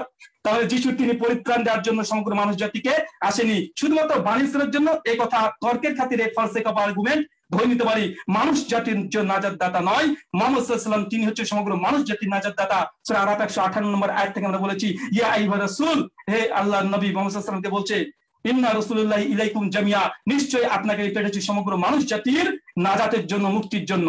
এরপর তিনি বলছেন যারা যিশুকে স্বীকার করে না, তারা গোমরা, পথভ্রষ্ট। কোরআন থেকে কিছু আয়ত্ত পেশ করেছে। আরে এবার আমরা তো বিশ্বাস করি, যারা যিশুকে বিশ্বাস করে না, তার পথভ্রষ্ট গোমরা। উনি তো আমরা কোরআন থেকে দশ বারটা আয়াত পেশ করল। যিশুকে বলা হয়েছে, তিনি পবিত্র, তিনি পাকরু দিয়ে তাকে সৃষ্টি করা হয়েছে। আরে এবার কোরআনের আচ্ছা বিশ্বাস তো করি। কোথাও বিশ্বাস করলাম, যিশুর সত্তাকে আমরা অস্বীকার করছি, ঈশা নবীকে বিশ্বাস করি, আমরা মুসলিমরা ঈশা বলার পরে আল্লাহ ইসাল্লাম বলি, আল্লাহ তোমার শান্তি বর্ষণ করুক। যিশুর মর্যাদা আছে, পবিত্র কোরআন, সুরা ইমরান, আয়াত নম্বর পঁয়তাল্লিশ আল্লাহ বলছে, ওয়াজিহান ফি দুনিয়াল আখেরা নিঃসন্দেহে জিজাস ক্যাথ ঈশা নবী, তিনি ইহকালে সম্মানিত, পরকালে সম্মানিত। নবী ঈশাকে আমরা অপমান, অপদস্থ করি না, বরং যিশুকে পাঠানো হয়েছে বানিসালের নাজাতের জন্য, সেই সময়ের জন্য, এখন মোহাম্মদ সময়, এখন তারই আনুগত্য অনুসরণ করে মানুষকে নাজাত পেতে হবে। এর দ্বিতীয় কোনো বিকল্প কিছু নেই। এরপর তিনি বলছেন, সবাই পাপি। আমি বাইবেল থেকে রেফারেন্স দিয়েছিলাম জেরিমিয়া একত্রিশ অধ্যায় ত্রিশ নম্বর ভার্স যে বলা হয়েছে, যে টক খাবে, তারই দাঁত ট্যাঙ্গা হবে। বাপের পাপ ছেলের ঘাড়ে পৌঁছাবে না। তিনি জবাব দেয়নি, শুধু অনার্থক দাবি করছে। তারপর তিনি বলছেন তারপরে তিনি এই কথা বলার পরে কোরআন থেকে যিশু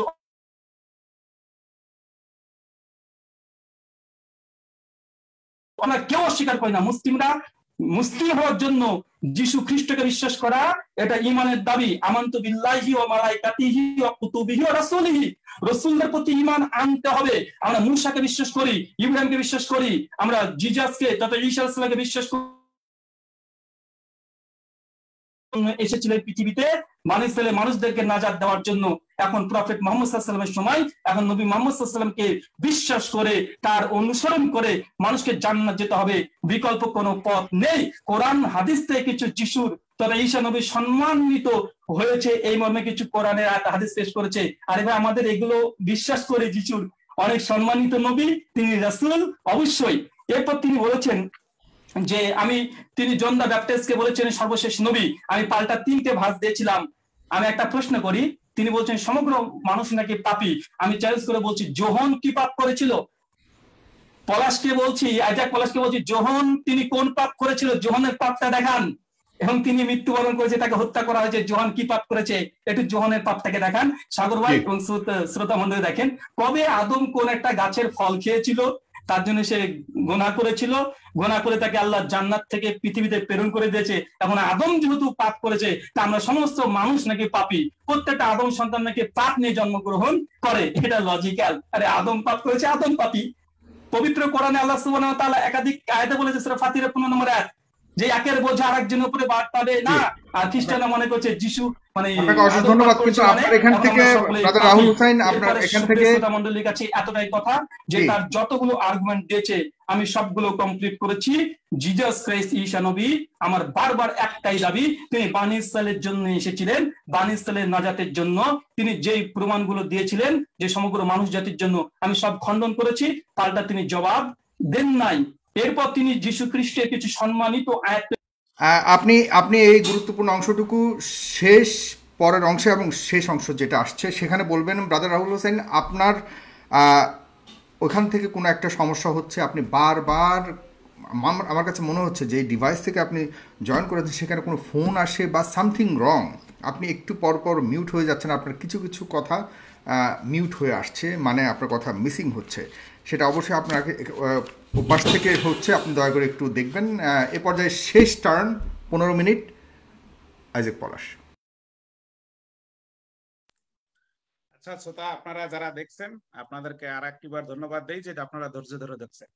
আপনারা দেখলেন যে আমার প্রতিপক্ষ সে অনেক কথা বললেন যে যিশু নাকি শুধু ইসরায়েল জাতির জন্য। উনি কোনো ভাস দেন না মুখে মুখে কথা বলে উনি কি বলে উনিই জানেন। ঠিক আছে? ওনার কথাকে মুখের কথা বিশ্বাস করবেন উনি কোনো রেফারেন্স ঠিক মতো দেখাতে পারেন না। আপনি উনি বলছেন জিএসকেল নাকি এক হাজারের বেশি মৃত লোককে জীবিত করছে নবী জিএসকেল জিএসকেল একটা দর্শন দেখছে স্বপ্ন দেখছে। উনি স্বপ্ন দর্শনও জানে না পূর্বের ডিবেট আপনি দেখছি এটার মানেও জানেন না। জিএসকেল একটা স্বপ্ন দেখছে দর্শন দেখছে যে আহ, এইরকম লোকেরা তারা মৃত্যু থেকে জীবন পাচ্ছে এবং সেই যীশু খ্রিস্টের মধ্যে দিয়েই সেটা পাচ্ছে সেটা তারা দর্শন দেখছে। জিএসকেল কোনো মৃত লোককে জীবিত করে নাই। ঠিক আছে? তারপরে উনি যে বলছে যে ইসমাইল থেকে হজরত মোহাম্মদ আসছে, সেইটার নাকি বংশাবলী আছে। পৃথিবীর কোথাও সেটা নাই। উনি দেখাতে পারবেন এখন নতুন করে ওনারা লিখতেছে অনেক কিছু। নতুন অনেক হাদিস লিখতেছে। তারপরে ওনারা, উনি বলছে যে যদি শস্যে দানার পর্যন্ত বিশ্বাস থাকে, এটা যিশু একটা উপমা দিয়েছে, যিশু উপমা দিয়ে সবসময় কথা বলেছে, যে আমাদের যদি শস্য দানার মতো বিশ্বাস থাকে, তা আমাদের যে সমস্যা, বিভিন্ন সমস্যা, যেমন পাপ একটা সমস্যা, যে নাজাত পাবা, কীভাবে পাপ থেকে মুক্তি থেকে নাজাদ পাবো, যদি আমরা যিশুর পারে বিশ্বাস করব, যিশু কোনো নবী না, যিশু স্বয়ং ঈশ্বর, তার নামই হচ্ছে নাজাদ দাতা নাজাদ দাতা কি হতে পারে? একমাত্র ঈশ্বর হতে পারে নাজাদ দাতা সেই জন্যই তার নাম নাজাদ দাতা ইয়েশুয়া, কারণ ঈশ্বরই নাজাদ করতে পারে। সেই জন্য যিশু নাজাত দাতা উনি একটু আগে বলেছেন আহ, পুরাতন নিয়মের রেফারেন্স দিয়ে আহ, ইয়োবের যে নারীর গর্ভে কোন লোক নাকি নাজাত দিতে পারেন না। তিনি আবার দাবি করেছেন হজরত মোহাম্মদই নাকি নাজাত দাতা চিন্তা করেন হাস্যকর বিষয়। এবং উনি বলেছেন আহ, যিশু বনি ইসরায়েলের মধ্যে সবসময় সীমিত। এই কথাটা উনি বারে বারে বলতেছেন। কিন্তু যিশু বনি ইসরায়েলের মধ্যে সীমিত উনি একটা রেফারেন্স টানছে। আমি একটু শেয়ার করি। সেই রেফারেন্সটা আপনি দেখেন সে কোথায় গেছে। রেফারেন্সে উনি যে জায়গায় গেছে উনি বলছে আল ইমরান ষাট অধ্যায়, সেখানে কি লেখা রয়েছে? আপনারা দেখেন, বাংলায় ভালো করে দেখেন হ্যাঁ যে কি লেখা রয়েছে? In God's eye Jesus is just like Adam he created him from dust said to him be and he was যে প্রথম আদমের মতোই যিশু ঈশ্বর যিশুকে এই জগতে পাঠিয়েছেন, তিনি বলছেন হও এবং তিনি হয়ে গেছেন। তাহলে উনি যে বলছে যে শুধু মানে ইসরায়েল জাতির জন্য এই রেফারেন্সটা টানছে, শুধু ইসরায়েল জাতির জন্য, এখানে কিন্তু নাই। তাহলে উনি যে কথাগুলি বলতেছে ওনার শুধু মুখের কথা, উনি কোনো রেফারেন্স সহকারে আমাদের কিছু দেখাতে পারেন না, শুধু উনি বলতেছে এবং নিজেই বলছে যে নারীর গর্ভে কেউ কোনো নবীরা নাজাত দাতা না। কিন্তু উনি আবার দাবি করছে মোহাম্মদ নবী এবং মোহাম্মদ নাজাত দাতা চিন্তা করে দেখেন, হাস্যকর বিষয়। তারপরে যিশু যে বলছে যে, তোমরা যখন কোন নারীর দিকে কুদৃষ্টিতে তাকাও, তোমার একটা চোখ যদি এটা করে, তাহলে অন্যটা চোখ উঠিয়ে ফেলো। যিশু এখানে উঠাইয়া বাস্তবিক অর্থে উঠাইয়ে ফেলতে বলে নাই। যিশু বলছে, তোমরা এটা করো না, এটা পাপ। ঠিক আছে? যিশু বলছে, তুমি যদি কোনো নারীর দিকে কুদৃষ্টিতে তাকাও, সঙ্গে সঙ্গে বেবিচার করবে। যিশুর অধিকার আছে, যিশু আমাদের মানে এইটা থেকে মুক্তি দিতে পারে। কীভাবে? কারণ যিশুই নাজাত দাতা যাতে আমাদের মনের সবার পরিবর্তন হয়, আমাদের মধ্যে পরিবর্তন হয়। ঠিক আছে? নারীকে দেখে উনি বলছে যে আমরা জানি যে জন বেপ্তিস্মদাতা কোনো পাপ করছে কিনা। অবশ্যই করছে। সে পুরুষ ছিল, সে নারীর দিকে তাকায় নাই দৃষ্টি নিয়ে। এবং সে, সেই সেই জন্যই তার একটা সমস্যা হয়েছে। তা সে নারীর বিষয়ে কথা বলছে। ঠিক আছে? এবং সে পাপ করছে না না করছে, আপনি কীভাবে জানেন? ঠিক আছে? এবং আমরা যদি দেখি, নারীর দিকে কুদৃষ্টিতে সব পুরুষ তাকায়। তার মানে কি সব পুরুষ পাপী? এবং সেই পাপ সে স্বীকার করতে চায় না। কে পাপ স্বীকার করতে চায় না? যারা যিশুর কাছে, যিশু এই জগতের আলো, তার কাছে যদি যারা না আসতে চায়, তারাই পাপ স্বীকার করতে চায় না। সেটা লেখা রয়েছে যখন তিনি তাই আপনি যদি ষোলো থেকে একদম পঁচিশ পদ পর্যন্ত পড়েন, ভালোভাবে দেখতে পারেন। যিশু বলছে যে, আমার উপরে যারা গৃহ নির্মাণ করে, তারা বুদ্ধিমান। যারা আমার উপরে গৃহ নির্মাণ না করে, তারা কি? নির্বোধ। নির্বোধের কথা যিশু বলছে। এইখানে যিশু নিজের কথা বলতেছে, আমি বলতেছি না, যিশু বলছে। ঠিক আছে? তাহলে উনি যে কথাগুলি বলতেছে, যে এগুলি শুধু ওনার কথার কথা এবং উনি যে নাজাত কি সেটা উনি বুঝে কিনা আমি জানি না, কিন্তু নাজাত না পাইলে কেহই আপনার বেহেস্তে যাইতে পারবেন না। এবং আমি অনেক রেফারেন্স দেখাইছি কোরআন থেকে, একদম স্পষ্টভাবে হাদিস থেকে, যে হজরত মোহাম্মদ বলছে যেন আমরা নাজাতের জন্য চেষ্টা করি এবং ঈশ্বরের দয়া অনুগ্রহ, সেটা আমরা দেখছি যখন তিনি উদ্যায় ষোলপথ যিশু নিজে এই পৃথিবীর দয়া এবং অনুগ্রহ, তিনি এই জগতে আসছেন আমাদেরকে নাজাদ দিতে। আবার উনি বলতেছেন অ্যাপোস্টেল মানে নাকি মানে নবী? না অ্যাপোস্টেল মানে নবী না পেরি যাদেরকে পাঠান, যিশু পাঠিয়েছেন, তাদেরকে অ্যাপোস্টেল বলা হয়। হ্যাঁ অ্যাপোস্টেল মানে নবী না, কিন্তু আমরা দেখি হজরত মোহাম্মদ ইসলামের নবী, কিন্তু ইংলিশ কোরআনে তাকে অ্যাপোস্টেল বলা হয়েছে। সুতরাং নবী মানে হচ্ছে যে প্রফেট নবী মানে অ্যাপোস্টেল না। হ্যাঁ তাহলে উনি এই যে অনেক ভুল বলছেন এবং উনি আর এই যে যে কথাগুলি বলছেন, এই, এইগুলির ভিত্তিহীন এবং উনি যদি দেখাতে পারেন যে এই কথাগুলি উনি বলতেছেন, আপনারা একটা কোরআনের রেফারেন্সগুলো দেখাই দিলাম। উনি বলছে যে, এইখানে ইসরায়েল জাতির জন্য আসছে, কোরআনে লেখা রয়েছে। সেখানে লেখা নাই, আমরা কোরআন খুলে দেখিয়ে দিলাম। তাহলে উনি যে কথাগুলি বলছে, সেটার ভিত্তি থাকতে হবে এবং সেটা রেফারেন্স জনগণের সামনে দেখাতে হবে যে আপনি কোথা থেকে বলছেন। না হলে আপনি মুখে মুখে তর্ক করেন, আপনি নিজে নিজে মনে মনে করেন যে যিশু নাজাদ দাতা না, মনে করেন আপনি যিশু শুধু ইসরায়েল জাতির জন্য আসছে। সেটা কি যিশু বলছে? আপনি বলছেন মথি চোদ্দ মথি আঠাইশ অধ্যায় চোদ্দ আঠাশ অধ্যায় উনিশ পদ। সেটা নাকি কোরআনে নাই যে পিতা, পুত্র, পবিত্র নামে দেওয়া সরি সেটা নাকি বাইবেলে নাই? হ্যাঁ উনি একটা বাইবেল দেখাইলো, সেটা হচ্ছে মার্কের কথা বলছে তিনি উনি কথা বলছে পিতা, পুত্র, পবিত্র আত্মার নামে বাপ্তিস্ম করো। এটা সব বাইবেলে আছে পৃথিবীর, সব বাইবেলে আছে। ঠিক আছে? মতি আঠাইশ অধ্যায় উনিশ পদ। এটা সব বাইবেলে আছে। উনি দেখাইতে পারবেন না, কোনো বাইবেলে এটা নাই। ঠিক আছে? যিশু বলছে যাও, তোমরা সমস্ত পৃথিবীর সমস্ত জাতির কাছে সুসমাচার প্রচার করো এবং পিতা, পুত্র, পবিত্র আত্মার নামে বাপ্তিস্ম করো। এবং দেখো, প্রতিদিন আমাদের তোমাদের সঙ্গে সঙ্গে আমি আমি আছি। কীভাবে? পাকরুর মধ্যে দিয়ে। এখন পবিত্র আত্মাকে বলা হয়েছে খ্রিস্টের আত্মা। তিনি এখন পাকরু ঈশ্বর মানেই আত্মা। তিনি আত্মা রূপে আমাদের মধ্যে বাস করেন। এবং আমরা যদি দেখি যে যিশু কি বলছে?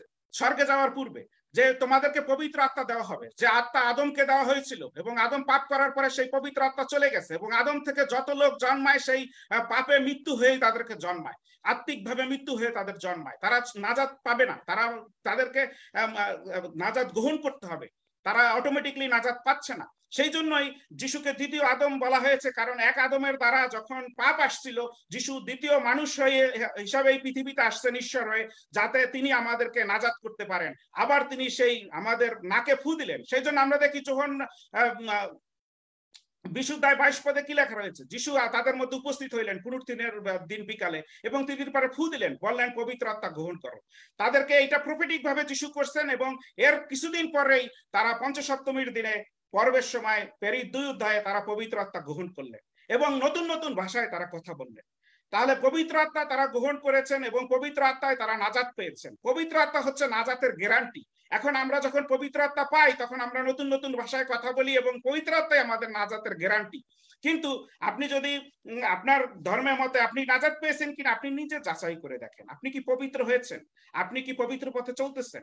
আপনি কি এখনও অন্যর দিকে কুতিষ্ঠিতে তাকিয়েছেন? আপনার মধ্যে হিংসা, প্রবৃত্তি অনেক কথা বলছেন। তারপর উনি আর একটা কথা বলছে যে, সূচের টাকা থাকলেই নাকি স্বর্গে যাওয়া যাবে না। যিশু এই কথা কোথাও বলে নাই, টাকা থাকলে স্বর্গে যাওয়া যাবে না। বলছে ধনির পক্ষে কঠিন।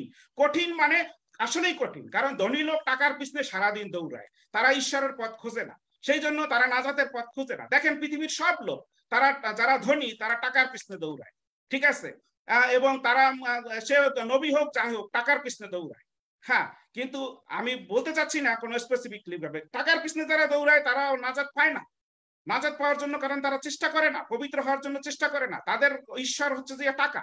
সেই জন্য তারা টাকার পিছনে দৌড়ায়। কিন্তু আমরা যদি প্রকৃত ঈশ্বরকে খুঁজি, পবিত্র হতে খুঁজি, প্রিয় বাংলাদেশি জনগণ, আমরা যারা বাংলা ভাষায় কথা বলি, আপনারা যারা আজকে দেখতেছেন, স্বর্গ মহাপবিত্র স্থান। সেখানে যেতে হলে আমাদেরকে পবিত্র হতে হবে। আমরা দেখেছি হজরত মোহাম্মদ বলছে, মৃত্যুর পরে আমার কি হবে? আমি বলতে পারি না। তোমাদের কি হবে, আমি কীভাবে বলব? ঠিক আছে? আজকে আপনি যীশু খ্রিস্ট স্বর্গে আছেন। তিনি বলছেন তার শিষ্যদের যে, আমি স্বর্গে যাচ্ছি এবং আবার আসতেছি। তোমাদেরকে আমার কাছে নিয়ে যেতে। কারণ আমরা, আমি আমি যেখানে থাকি, তোমরাও যেন সেখানে থাকো। আজকে যদি আপনি স্বর্গে যেতে চান, পবিত্র হতে চান, কারণ সেই মহাপবিত্র স্থানে যেতে হলে আপনাকে পবিত্র হতে হবে। তাহলে যীশু খ্রিস্ট এই নাজার দাতা আপনি কেউ অন্যর কথায় আপনি প্রতারিত হবেন না। ঠিক আছে? যীশু খ্রিস্টকে নাজাদ দাতা বলেই বিশ্বাস করতে হবে। কারণ পাকরুহুতে তার জন্ম হয়েছে আমাদের নাজাদ দেওয়ার জন্য যা দূতে বলেছে। স্বর্গদূতেরা পর্যন্ত বলেছে। হ্যাঁ তাহলে আমরা যদি সেই স্বর্গদূতের কথা না শুনি, যারা স্বর্গ থেকে আসছে, আমরা যদি যিশু এই পৃথিবীতে আসছে নাজাদ দেওয়ার জন্য, সেই জন্য তার নামই হচ্ছে ইয়েশুয়া। মানে নাজাদ দাতা হ্যাঁ যিনি আমাদেরকে নাজাদ করবেন এবং পৃথিবীর সমস্ত লোকের জন্য যিশু আসছেন সেই জন্য আমি বাঙালি হয়ে আমি নাজাদ পেয়েছি। আমি পবিত্র আত্মা গ্রহণ করেছি, যিশু খ্রিস্টের রক্ত দ্বারা ধুয়ে নাজাদ পেয়েছি এবং নতুন নতুন ভাষায় ঈশ্বরের আরাধনা প্রশংসা করতে পারছি। হ্যাঁ এবং পবিত্র আত্মার যে ফল আছে, সেগুলি আমার জীবনে আমি দেখতে পাচ্ছি। পবিত্র আত্মা আমাদের জীবনে আসলে আমাদের জীবনে কি আসে? প্রেম, আনন্দ, শান্তি, দীর্ঘ সহিষ্ণুতা, মাধুর্য, মঙ্গল ভাব, বিশ্বস্ততা মৃদুতা ইন্দ্রিয় দমন। এই ক্যারেক্টারটা আমার মধ্যে চলে আসছে। যদি এটা না আসা পর্যন্ত আমি কিন্তু নতুন জন্ম পাই নাই। হ্যাঁ আমি নতুন জন্মের পাওয়ার আগে আমি খারাপ ছাত্র ছিলাম বাংলাদেশে। কিন্তু যখন নতুন জন্ম পেয়েছি, আমি ভালো ছাত্র হয়েছি এবং ঈশ্বর আমাকে অনেক আশীর্বাদ করেছে, আমার চরিত্র পরিবর্তন করে দিয়েছে। কারণ আমার মধ্যে প্রেম, আনন্দ, শান্তি দীর্ঘ সহিষ্ণুতা মাধুর্য মঙ্গল ভাব এসেছে। আমরা যদি দেখি যে এই যে যে চরিত্র পরিবর্তন, এটা শুধু প্রভু যীশু খ্রিস্ট তার রক্ত দ্বারা ধুয়ে আমাদেরকে করতে পারে। এবং সেই জন্য বাঙালি হয়ে আমি যদি নাজাত পাই, তাহলে বুঝতে হবে যীশু খ্রিস্ট বাঙালিদের জন্য এসেছে। ঠিক আছে? আর আপনি যদি স্বভাবের পরিবর্তন আপনি যদি অন্য কোনো ধর্ম বা ব্যক্তির মধ্যে দিয়ে করতে পারেন, আমার কোনো আপত্তি নাই। কিন্তু যীশু খ্রিস্ট বলেছেন, আমি পশ্বত্ব জীবন, আমাদিয়া না আসলে কেহ পিতার কাছে আসতে পারে না, ঈশ্বরের কাছে আসতে পারে না। হ্যাঁ পিতা, পুত্র পবিত্রতা কীভাবে কাজ করে? তারা এক ঈশ্বর এবং এক ঈশ্বর তারা তিনজনেই এক এবং ইকুয়াল একই ঈশ্বরের তিনটা ফর্ম তিন ভাবে প্রকাশিত হয়। যেমন পানি বরফ এবং বাষ্প। হ্যাঁ এক সব এই এইচ টু মলিকুলা ডিভাইন আমরা জানি ঈশ্বর ডিভাইন হ্যাঁ এবং তিনি তিন ভাবে জগতের কাছে প্রকাশিত হন। এখন যিশু আমাদের হৃদয়ে বাস করেন কীভাবে? পাকরুহুর দ্বারা। তিনি আমাদের মধ্যে আসছেন। তিনি তার শিষ্যদের বলছেন, আমার যাওয়া তোমাদের পক্ষে উত্তম। কারণ এখন আমি তোমাদের পাশে পাশে আছি। কিন্তু আমি যখন স্বর্গে যাব, তখন তুমি, আবার আমি তোমাদেরকে আসব। জগৎ দেখতে পাবে না, কিন্তু তোমরা আমাকে দেখতে পাবে। কারণ আমি তোমাদের হৃদয়ে তখন থাকব। তাহলে যিশু এখন আমাদের হৃদয়ে আছেন এবং তার মতো করে পবিত্রভাবে চলার সাহস এবং ক্ষমতা এবং শক্তি তিনি আমাদেরকে দিচ্ছেন। সেই জন্যই আপনি দেখেন যে যারা যিশুকে গ্রহণ করে, আপনি এমন একটা মানুষকে খুঁজে পান যারা নতুন জন্ম পেয়েছে, পবিত্র আত্মা গ্রহণ করেছে, পবিত্র আত্মায় চলতেছে। তাদের কাছে যান আপনি, তাদের জীবনটা পরীক্ষা করে দেখেন, তারা কত সুন্দরভাবে কথা বলে, কত সুন্দরভাবে তারা যিশুর বিষয়ে সাক্ষ্য দেয় যে যিশুর মধ্যে দিয়ে তারা পরিত্রাণ পেয়েছে। এবং তারা ভালো কিছু করার জন্য চেষ্টা করে। তারা মিথ্যা কথা এড়াইয়া চলে তারা সমস্ত পাপ কাজ থেকে তারা নিজেদেরকে দূরে রাখার চেষ্টা করে। যদিও জগৎ পাপে পরিপূর্ণ আমরা জানি, কিন্তু তারা চেষ্টা করে এবং পবিত্র আত্মা তাদেরকে সাহায্য করে যদি তারা সাহায্য চায়। তাহলে পবিত্র ভাবে তারা তুলছে এবং পাকরুহু তাদের হৃদয়ে আছে পাকরুহু তাদেরকে পাপ ধরে দিচ্ছে এবং সেই পাপের জন্য তারা যখন অনুতপ্ত হয় যীশু খ্রিস্টের রক্ত দ্বারা, তখন আবার তারা ধুয়ে, আবার পরিষ্কার হয়ে, আবার নতুন করে পবিত্র ভাবে চলার সামর্থ্য পায়।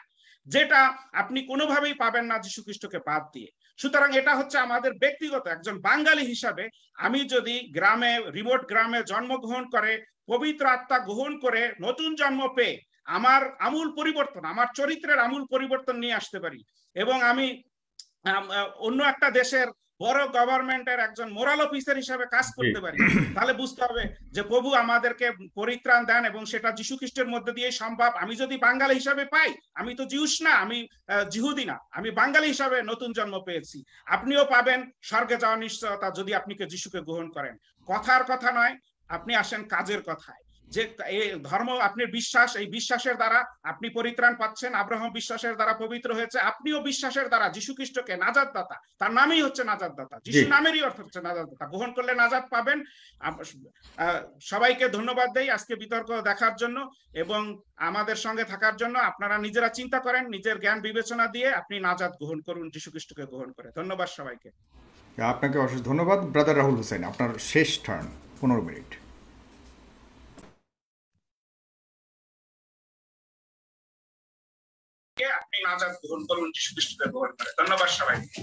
আলাইকুম এই জন্য একটা কথা প্রথমে বলি যে পলাশ দা আমার কোনো কথা শুনছে না, অথবা শুনছে কিন্তু বুঝতে পারছে না। কেন? হয়তো পবিত্রতা তার সঙ্গে নেই। আমি বাইবেল থেকে স্ক্রিনশট দেখিয়েছি। উনি গোটা আলোচনার যে বিষয়বস্তু দেখেন, কতবার কত জায়গায় ছুটে গেছে। যখন টিনিটিতে গেছে, তখন ঈশ্বর, যিশু ঈশ্বর কি ঈশ্বর সেখানে গিয়েছে, কখন মোহাম্মদ সাল্লাম নাজাদ দিতে পারবে কি পারবে না, এখানে চলে গেছে। আমি আমার জায়গায় স্টিল নাও এখনও দাঁড়িয়ে আছি। যিশু খ্রিস্ট বানিসালের জন্যই শুধুমাত্র তিনি পথ দেখাতে এসেছিলেন, না যাতে রাস্তা দেখাতে এসেছিলেন, সমগ্র মানুষ জাতির জন্য নয়, এটাই আমার মূল পয়েন্ট আর এরপরে এখন পর্যন্ত প্রতিষ্ঠিত দলিলের পর দলিল দিয়ে চলে যাচ্ছি। এবার তিনি দাবি করলেন কি, আমি নাকি কোনো কিছু বলিনি। আর একটা দাবি করলেন কি, যে প্রথম সুরা ইমরান, আয়াত উনষাট থেকে রেফারেন্স দিয়ে বলছে, দেখেন, এখানে তো নেই যে যিশু বানিসার জন্য এসেছেন পলাশদা চোখেও কম দেখছেন পবিত্র আত্মা কি একদম নেই? আমি কি ইমরান উনষাট রেফারেন্স দিয়েছি উনপঞ্চাশ দিয়েছি। ফর্টি নাইন উনপঞ্চাশ খুলে শুনুন। বইটা পরিষ্কার ভাবে কোরআন দেখে দিয়েছি, আরেকবার পোস্ট করে দেখেন উনপঞ্চাশ। ইলা বানি ইসরাইল ঈশা বানি তাকে করে পাঠানো হয়েছে কোরআন স্পষ্ট দাবি। আমি বাইবেল থেকে দেখালাম যে যিশু শুধুমাত্র বানি ইসরাইলের জন্য প্রেরণ করা হয়েছে, কিন্তু কেউ যদি সবগুলোকে অস্বীকার করার স্বভাব থাকে, আমাদের কিছু করার নেই।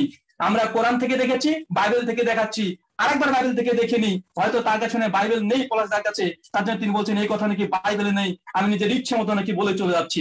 আসেন সুপ্রিয় শ্রোতা মন্ডলী বাইবেল দেখাচ্ছি, বাইবেল দেখেন এবার। সময় বেশি লাগে, এই জন্যই আমরা স্ক্রিনশট দেখাচ্ছি না। দেখেন, পবিত্র বাইবেল, দেখুন, চোখ খুলে দেখুন, পবিত্র আত্মাকে সঙ্গে নিয়ে দেখুন। কি বলছে দেখেন?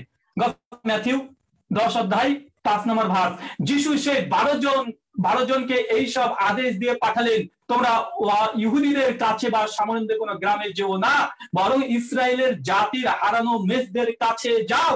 পরিষ্কার ভাবে বলছে যে ও ইহুদিদের কাছে যাবে না, কার কাছে যাবে? শুধু ইহুদিদের কাছে যাবে। আরেকটা রেফারেন্স দেখে নেন। এটা পনেরো অধ্যায়, মুথি পনেরো অধ্যায়, চব্বিশ নম্বর ভাস। একদম পবিত্র আত্মাকে সঙ্গে নিয়ে দেখেন। উত্তরে যিশু বললেন, আমাকে কেবল ইসরায়েলের বংশে হয়েছে। আমাকে শুধুমাত্র ইসরায়েলের হারানো মেজদের কাছে পাঠানো হয়েছে। স্পষ্ট, আসলে আমাদের পলাশদা, তার সঙ্গে পবিত্র আত্মা নেই। আমেরিকাতে আমেরিকাতে আছে। পবিত্র আত্মা কি কানেকশন পাচ্ছে কি পাচ্ছে না বুঝতে পারলাম না। তারপরে বলি, আমি কোন যে কথা বলেছি, যে যিশু শুধুমাত্র বাড়ির ছেলের জন্যই প্রেরণ করা হয়েছে, আমি বাইবেল থেকে দেখালাম, কোরআন থেকে দেখালাম। তিনি যিশুকে ইউনিভার্সাল হওয়ার জন্য দুটো রেফারেন্স দিয়েছে। মার্কের ষোলো অধ্যায় পনেরো নম্বর ভাস উনি বলছেন, আমি নাকি কিছু দেখাইনি আপনি তো শুধুমাত্র ওয়ার্ডে কি কি নিজের ইচ্ছে মতো লিখে আপনি স্ক্রিনে শো করছেন। আমি তো বই দেখাচ্ছি রে ভাই। একটা হচ্ছে গ্রিক বাইবেল দেখে নেন। গ্রিক বাইবেল হয়তো কোনোদিন দেখেননি, একটু দেখে নেন। গ্রিক বাইবেল এটা দেখেন দেখেন সরি এটা আমি প্রথমে আর এস বি বাইবেল দেখাচ্ছি গ্রিকটা একটু পরে দেখাবো। এটা যে R S V Bible BSI থেকে ছাপানো বাইবেল সোসাইটি অফ ইন্ডিয়া সবচেয়ে ভারতবর্ষে প্রাচীন। এখানে মার্কের ষোলো অধ্যায়। এখানে কি লিখছে, দেখেন দাগানো আছে। মার্ক ষোলো অধ্যায় আট নম্বর এসে গেছে। আপনি পনেরো নম্বর ভাস দিয়েছেন। এমন একটা আমি বলছি, এখানে বাইবেল দেখে নেন, কোনদিন দেখেননি। কেননা অস্বীকার করার স্বভাব বলে কিছু করার নেই। আপনি আর একটা রেফারেন্স দিয়েছিলেন মথি। এটা আমি কোডেস কি দেখাচ্ছি, দেখেন, একটু পড়েন। যে সিরিয়াটেক এটা, সিনেটিকাস আঠারোশো চুরানব্বই খ্রিস্টাব্দের, এটা হচ্ছে কোডেক্সটা পাওয়া গিয়েছে। সেই কোডেক্স দেখেন সিরিয়াটেকের মথি দেখেন, মথি কি দেখেন, কোথায় শেষ হচ্ছে? সাতাশ অধ্যায়, দেখেন, আট নম্বর বাস লিখে দিয়েছে যে মথির মূল ম্যানুস্ক্রিপ্ট কত শেষে? আটে শেষ হয়ে গেছে, আট নম্বর ভার্স আপনি দেখছেন উনিশ নম্বর ভার্স একটু পড়াশোনা করেন, শুধুমাত্র ওই মোবাইলে অ্যাপস থেকে পড়লে হয় না? একটু বইপত্র কিনে পড়েন। বইপত্র কিনে পড়েন, এই পাণ্ডুলিপিগুলো কেনেন, পড়েন। আমি তার মানে দেখেছি, আপনার গোটা আলোচনার সারমর্ম দুটো জিনিস। এক নম্বর, যে যিশুকে ইউনিভার্সাল প্রমাণ করতে গেছেন দুটো বাইবেল থেকে, একটা মথি থেকে। এটা মূল বাইবেলে নেই, এটা পরবর্তী বাংলা বাইবেল, ইংলিশ বাইবেলের মধ্যে ঢোকানো হয়েছে। আর মার্কের কথা, এটাও পরবর্তী সময় ঢোকানো হয়েছে। আমি মূল বাইবেল থেকে দেখে দিলাম। আর অনেকগুলো দেখাতে পারব সময় স্বল্পতার কারণে। আমি এখানে ক্ষান্ত হলাম। আসেন, এরপর দেখি কিছু অভিযোগ করেছে, সে অভিযোগগুলো খণ্ডন করি। তিনি বললেন ট্রিনিটি আজীব ব্যাপার। আজকে আলোচ্য যিশু কিনার দাদা? তিনি ট্রিনিটিতে চলে আসলেন। তিনি বললেন, পানি কখনো, পানি থাকে, কখনো থাকে, সে বরফ হয়ে যায়, কখনো বাষ্প হয়ে যায়, সবগুলোই পানি। তবে পিতা, পুত্র বলতে সবাই আত্মা। তো হ্যাঁ পানি যদি পানি থাকে, যখন জল থাকে, তখন এইচ টু ও এই পদার্থটা থাকে, সবসময় বিদ্যমান থাকে। কিন্তু যিশু খ্রিস্টকে যখন কিয়ামত সম্পর্কে জিজ্ঞাসা করলেন মার্ক তেরো অধ্যায় বত্রিশ ভার্স, যিশু বলছে, কিয়ামত সম্পর্কে আমার কিছু জানা নেই, একমাত্র ঈশ্বর জানে। যিশু কিয়ামতের জ্ঞান তাকে ছিল না। বাইবেল বলছে পলাশদা কি বাইবেল একটু পড়াশোনা করেন? শুধু মোবাইল অ্যাপস থেকে বললে হবে নেট থেকে বললে হবে, একটু পড়াশোনা করেন। এরপর তিনি বলছেন যে, যিশু মানে জহিসকেল নবী যে এক হাজার মানুষকে মানে জীবিত করেছে, এটা স্বপ্নের মধ্যে। আরে ভাই, স্বপ্ন তো আমাদের, আপনাদের দলিল, তাই না?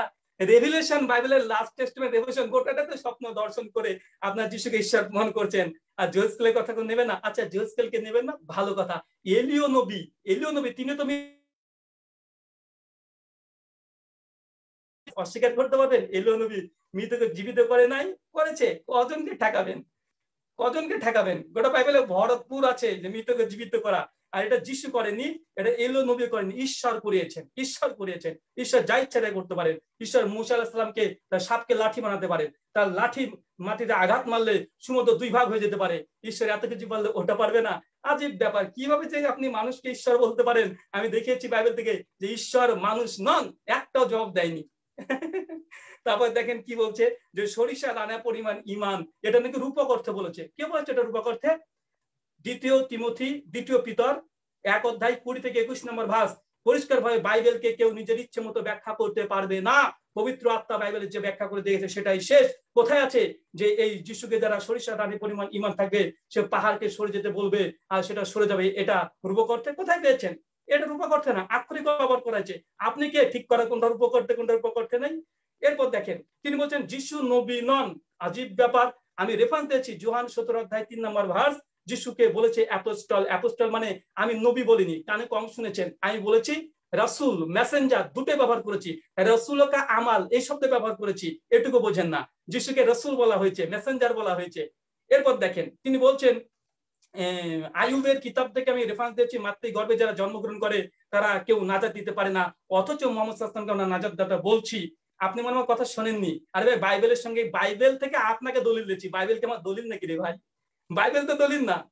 যিশুও মাতৃগর্ভে জন্মগ্রহণ করেছে। আপনার কথা অনুযায়ী যিশু নাজাত দিতে পারবে না। কেন? মাতৃগর্ভে যে জন্মগ্রহণ করে, সেই পাপি। একথা আপনি বলেছেন।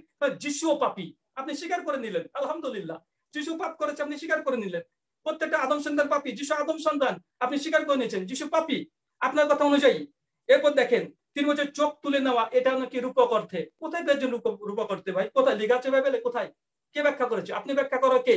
যিশু বলছে, তোমার বাম চোখ যদি অপরাধ করে, ডান চোখ যতক্ষণ তুমি না তুলছো, ততক্ষণ জাহান নামের আগুনে নিক্ষেপিত হবে। তোমার ডান হাত যদি অপরাধ করে, তাহলে তোমার বাম হাতকে কেটে ফেলো। কেন? তোমার সারা শরীর জাহান নামে থাকার চাইতে দুই হাত জাহান নামে যাওয়া ভালো। তেমন এটা রূপক অর্থে না, ব্যাখ্যা যিশু করে দিয়েছে।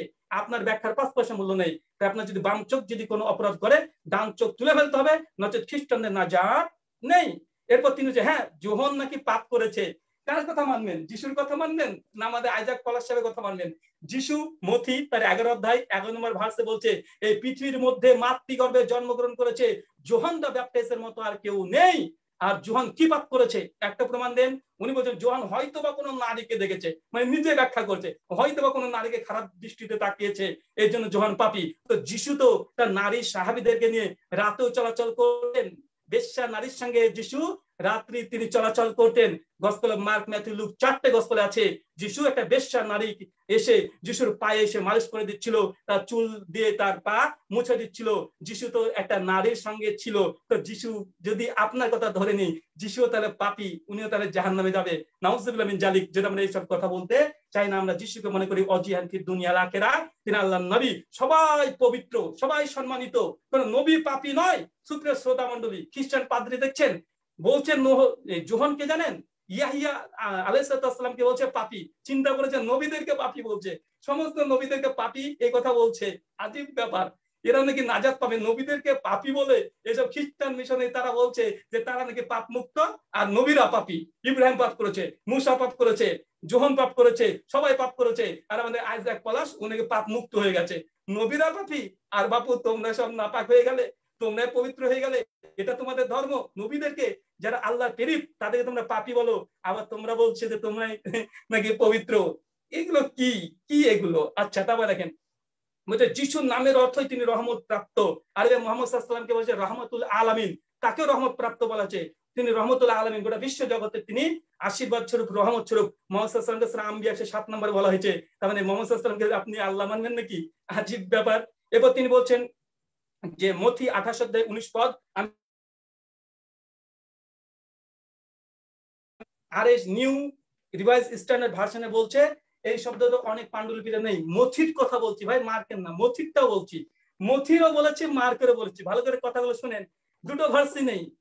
তারপর দেখেন ধনির টাকা ধনির টাকা, যিশুর কথা যে ধনীরা জান্নাতে যাবে না, এটা অনেক রূপ করতে মানে আইজাক পলাশ সাহেব যেটা দেখছে যে না, ব্যাখ্যা করা সম্ভব নয়, ওটা সেটা নিজে মানে বলে দিচ্ছে যে এটা রূপক অর্থে যিশু এখানে কি বলছে? একজন ধনীর পক্ষে ঈশ্বরের রাজ্যে প্রবেশ করা অপেক্ষা ছুচের মধ্য দিয়ে উঠ প্রবেশ করা সম্ভব। কোন ছুচের মধ্যে দিয়ে উঠ প্রবেশ করা সম্ভব নয় এবং ধনীদেরও জান্নাত যাওয়া সম্ভব নয়। কেন? বলছে ছুচের ছিদ্রতে উট প্রবেশ করা সম্ভব, তো ধনীদের জান্নাত না যা পাওয়া সম্ভব নয়। মানে জিরো পার্সেন্টও কোনো ধনী তারা জান্নাত যেতে পারবে না। ধনীরা জান্নাত যেতে পারবে না, যিশুর এই কথাটা প্রমাণিত।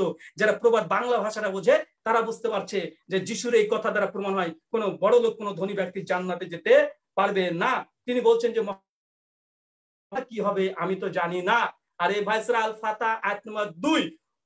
যেটা সেরা হাকাপোটা মক্কাতে অবতীর্ণ হয়েছিল। আর মদিনাতে শেষে এসে আল্লাহ সুমাতাল্লাহ বলছে মোহাম্মদ সাল্লামকে যে আপনাকে বিজয় দান করেছি।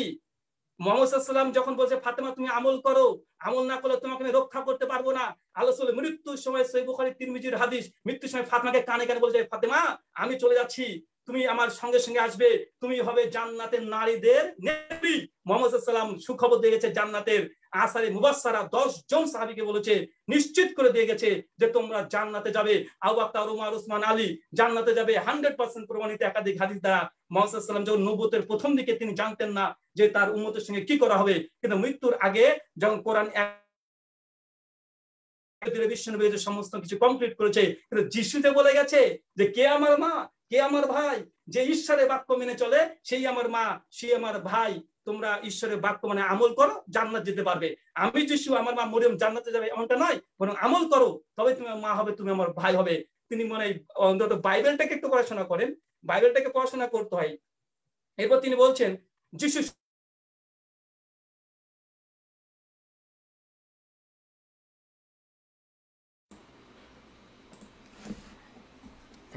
ব্রাদার রাহুল এবার নিজেও আটকে গেছেন। তার একটু সমস্যা সত্য পথে যাচ্ছেন। এটাই সত্য পথ।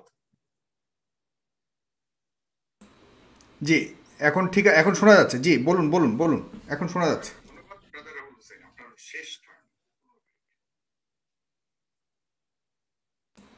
বলুন বলুন বলুন আপনি বলুন আপনি মনে আমাকে অনেক পরে শুনছেন। রাহুল ভাই আপনি বলতে থাকুন। রাহুল ভাই আপনি বলতে থাকুন।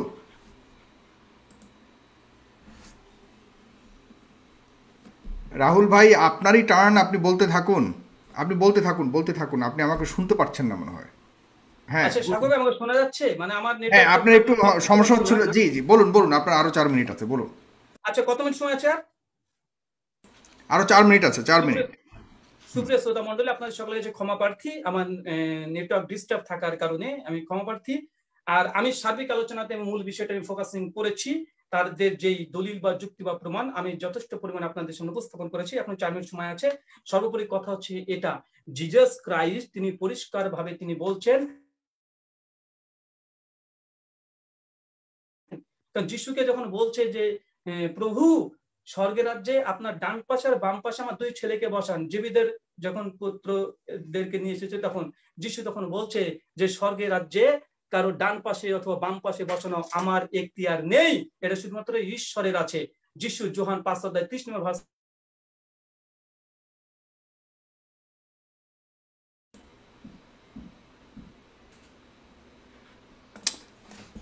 আবারও সমস্যা দেখা যাচ্ছে। ইয়ে কি শুনতে পাচ্ছেন? পলাশ ভাই আপনি শুনতে পাচ্ছেন? হ্যাঁ হ্যাঁ শোনা যাচ্ছে। আপনি কি রাহুল ভাইকে শুনতে পাচ্ছেন? না না তার কথা শোনা যাচ্ছে আমি শুনতে পাচ্ছি না। রাহুল ভাই আপনাকে শুনতে পাচ্ছি না। রাহুল ভাই আপনাকে শোনা যাচ্ছে না। কি মুসিবত। ওনাকে মানে ওনার সাউন্ডে কেন এরকম সমস্যা হচ্ছে? ওনাকে তো উনি মুভ করছেন কথা বলছেন সব দেখা যাচ্ছে। রাহুল ভাই আপনাকে শোনা যাচ্ছে না? তখন যিশু ঈশ্বর কৃষ্ণ না অনেক জায়গায় চলে যাচ্ছে। আর আমি প্রমাণ করে দেখিয়ে দিয়েছি। সর্বোপরি শেষ কথা আমার এতটাই মেসেজ জিজাস ক্রাইস্ট আমাদের ইসলামের নবী। তিনি একজন রসুল। আল্লাহ বলছে, ওয়াজিহান ফিদ দুনিয়া আখেরা। তিনি ইহকাল এবং পরকালে সম্মানিত। তাকে ভালোবাসি, তাকে সম্মান করি, তাকে শ্রদ্ধা করি। তবে তিনি সমগ্র মানুষ জাতির নাজাদ দাতা নয়। তবে তুমি, তিনি ঈশ্বরের পুত্র নয়। তবে তিনি ঈশ্বর নয়। তিনি একজন নবী যেন ইব্রাহিম সাল্লাম একজন নবী ছিলেন, রাসুল ছিলেন। আমরা এতটাই বিশ্বাস করি, নবী ইব্রাহিম যখন পৃথিবীতে এসেছিলেন ইব্রাহিম সাল্লামকে অনুসরণ করে সেই সময়কার মানুষরা জান্নাতে গিয়েছে। মুসার সময়ের মানুষরা নবী মুসার অনুসরণ করে জান্নাতে গিয়েছে। ঈশা সালামের অনুসারীরা নবী ঈশার অনুসরণ করে জান্নাতে চলে গেছে। এখনও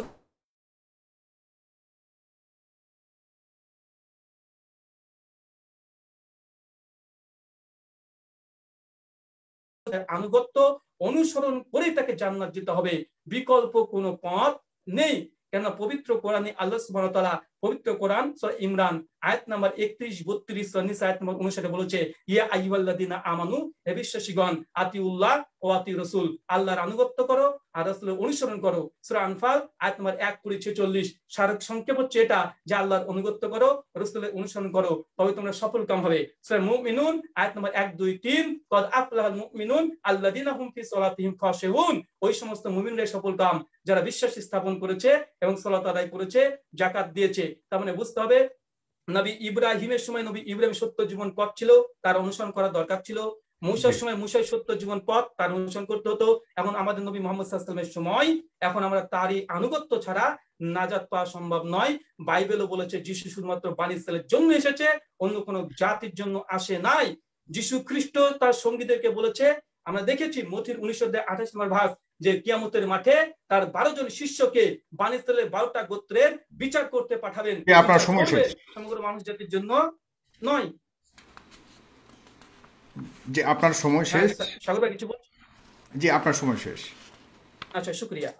আপনাকে অনেক অনেক ধন্যবাদ। দর্শক আপনারা এতক্ষণ দেখছে দেখছিলেন এই চমৎকার ডিবেট আমি সবাইকে অনেক অনেক ধন্যবাদ জানাচ্ছি। দীর্ঘক্ষণ এই অনুষ্ঠানটি দেখলেন আপনারা। আপনারা অবশ্যই নিজেদের টাইমলাইনে শেয়ার করে অন্যদেরকে দেখার জন্য সহযোগিতা করবেন এবং দর্শক যারা এ ধরনের ধর্মীয় ডিবেট কোনো ডিসপিউটেড কোনো টপিক নিয়ে যদি কোনো আলোচনা করতে চান, অবশ্যই সবাইকেই ফেস দ্য পিপল স্বাগত জানাবে। বাট এটা হতে হবে উভয় পক্ষ, সম্মতিতে উভয় পক্ষ মিলে পরিকল্পনা করে এবং নিজেদের নিজেদের সম্পূর্ণভাবে আপনারা প্রস্তুত করে আমাদের সাথে যোগাযোগ করবেন। আমরা কাউকে ওরকমভাবে আহ্বান করি না। আপনাদের জন্য সবসময় খোলা থাকবে ফেস দ্য পিপল, ধর্ম, বর্ণ, মত নির্বিশেষে। ভালো থাকবেন, সুস্থ থাকবেন এবং অবশ্যই করোনা ভাইরাস থেকে নিজেদেরকে মুক্ত রাখার জন্য সবা, সকল ধরনের ব্যবস্থা গ্রহণ করবেন। ভালো থাকবেন। আসসালামু আলাইকুম।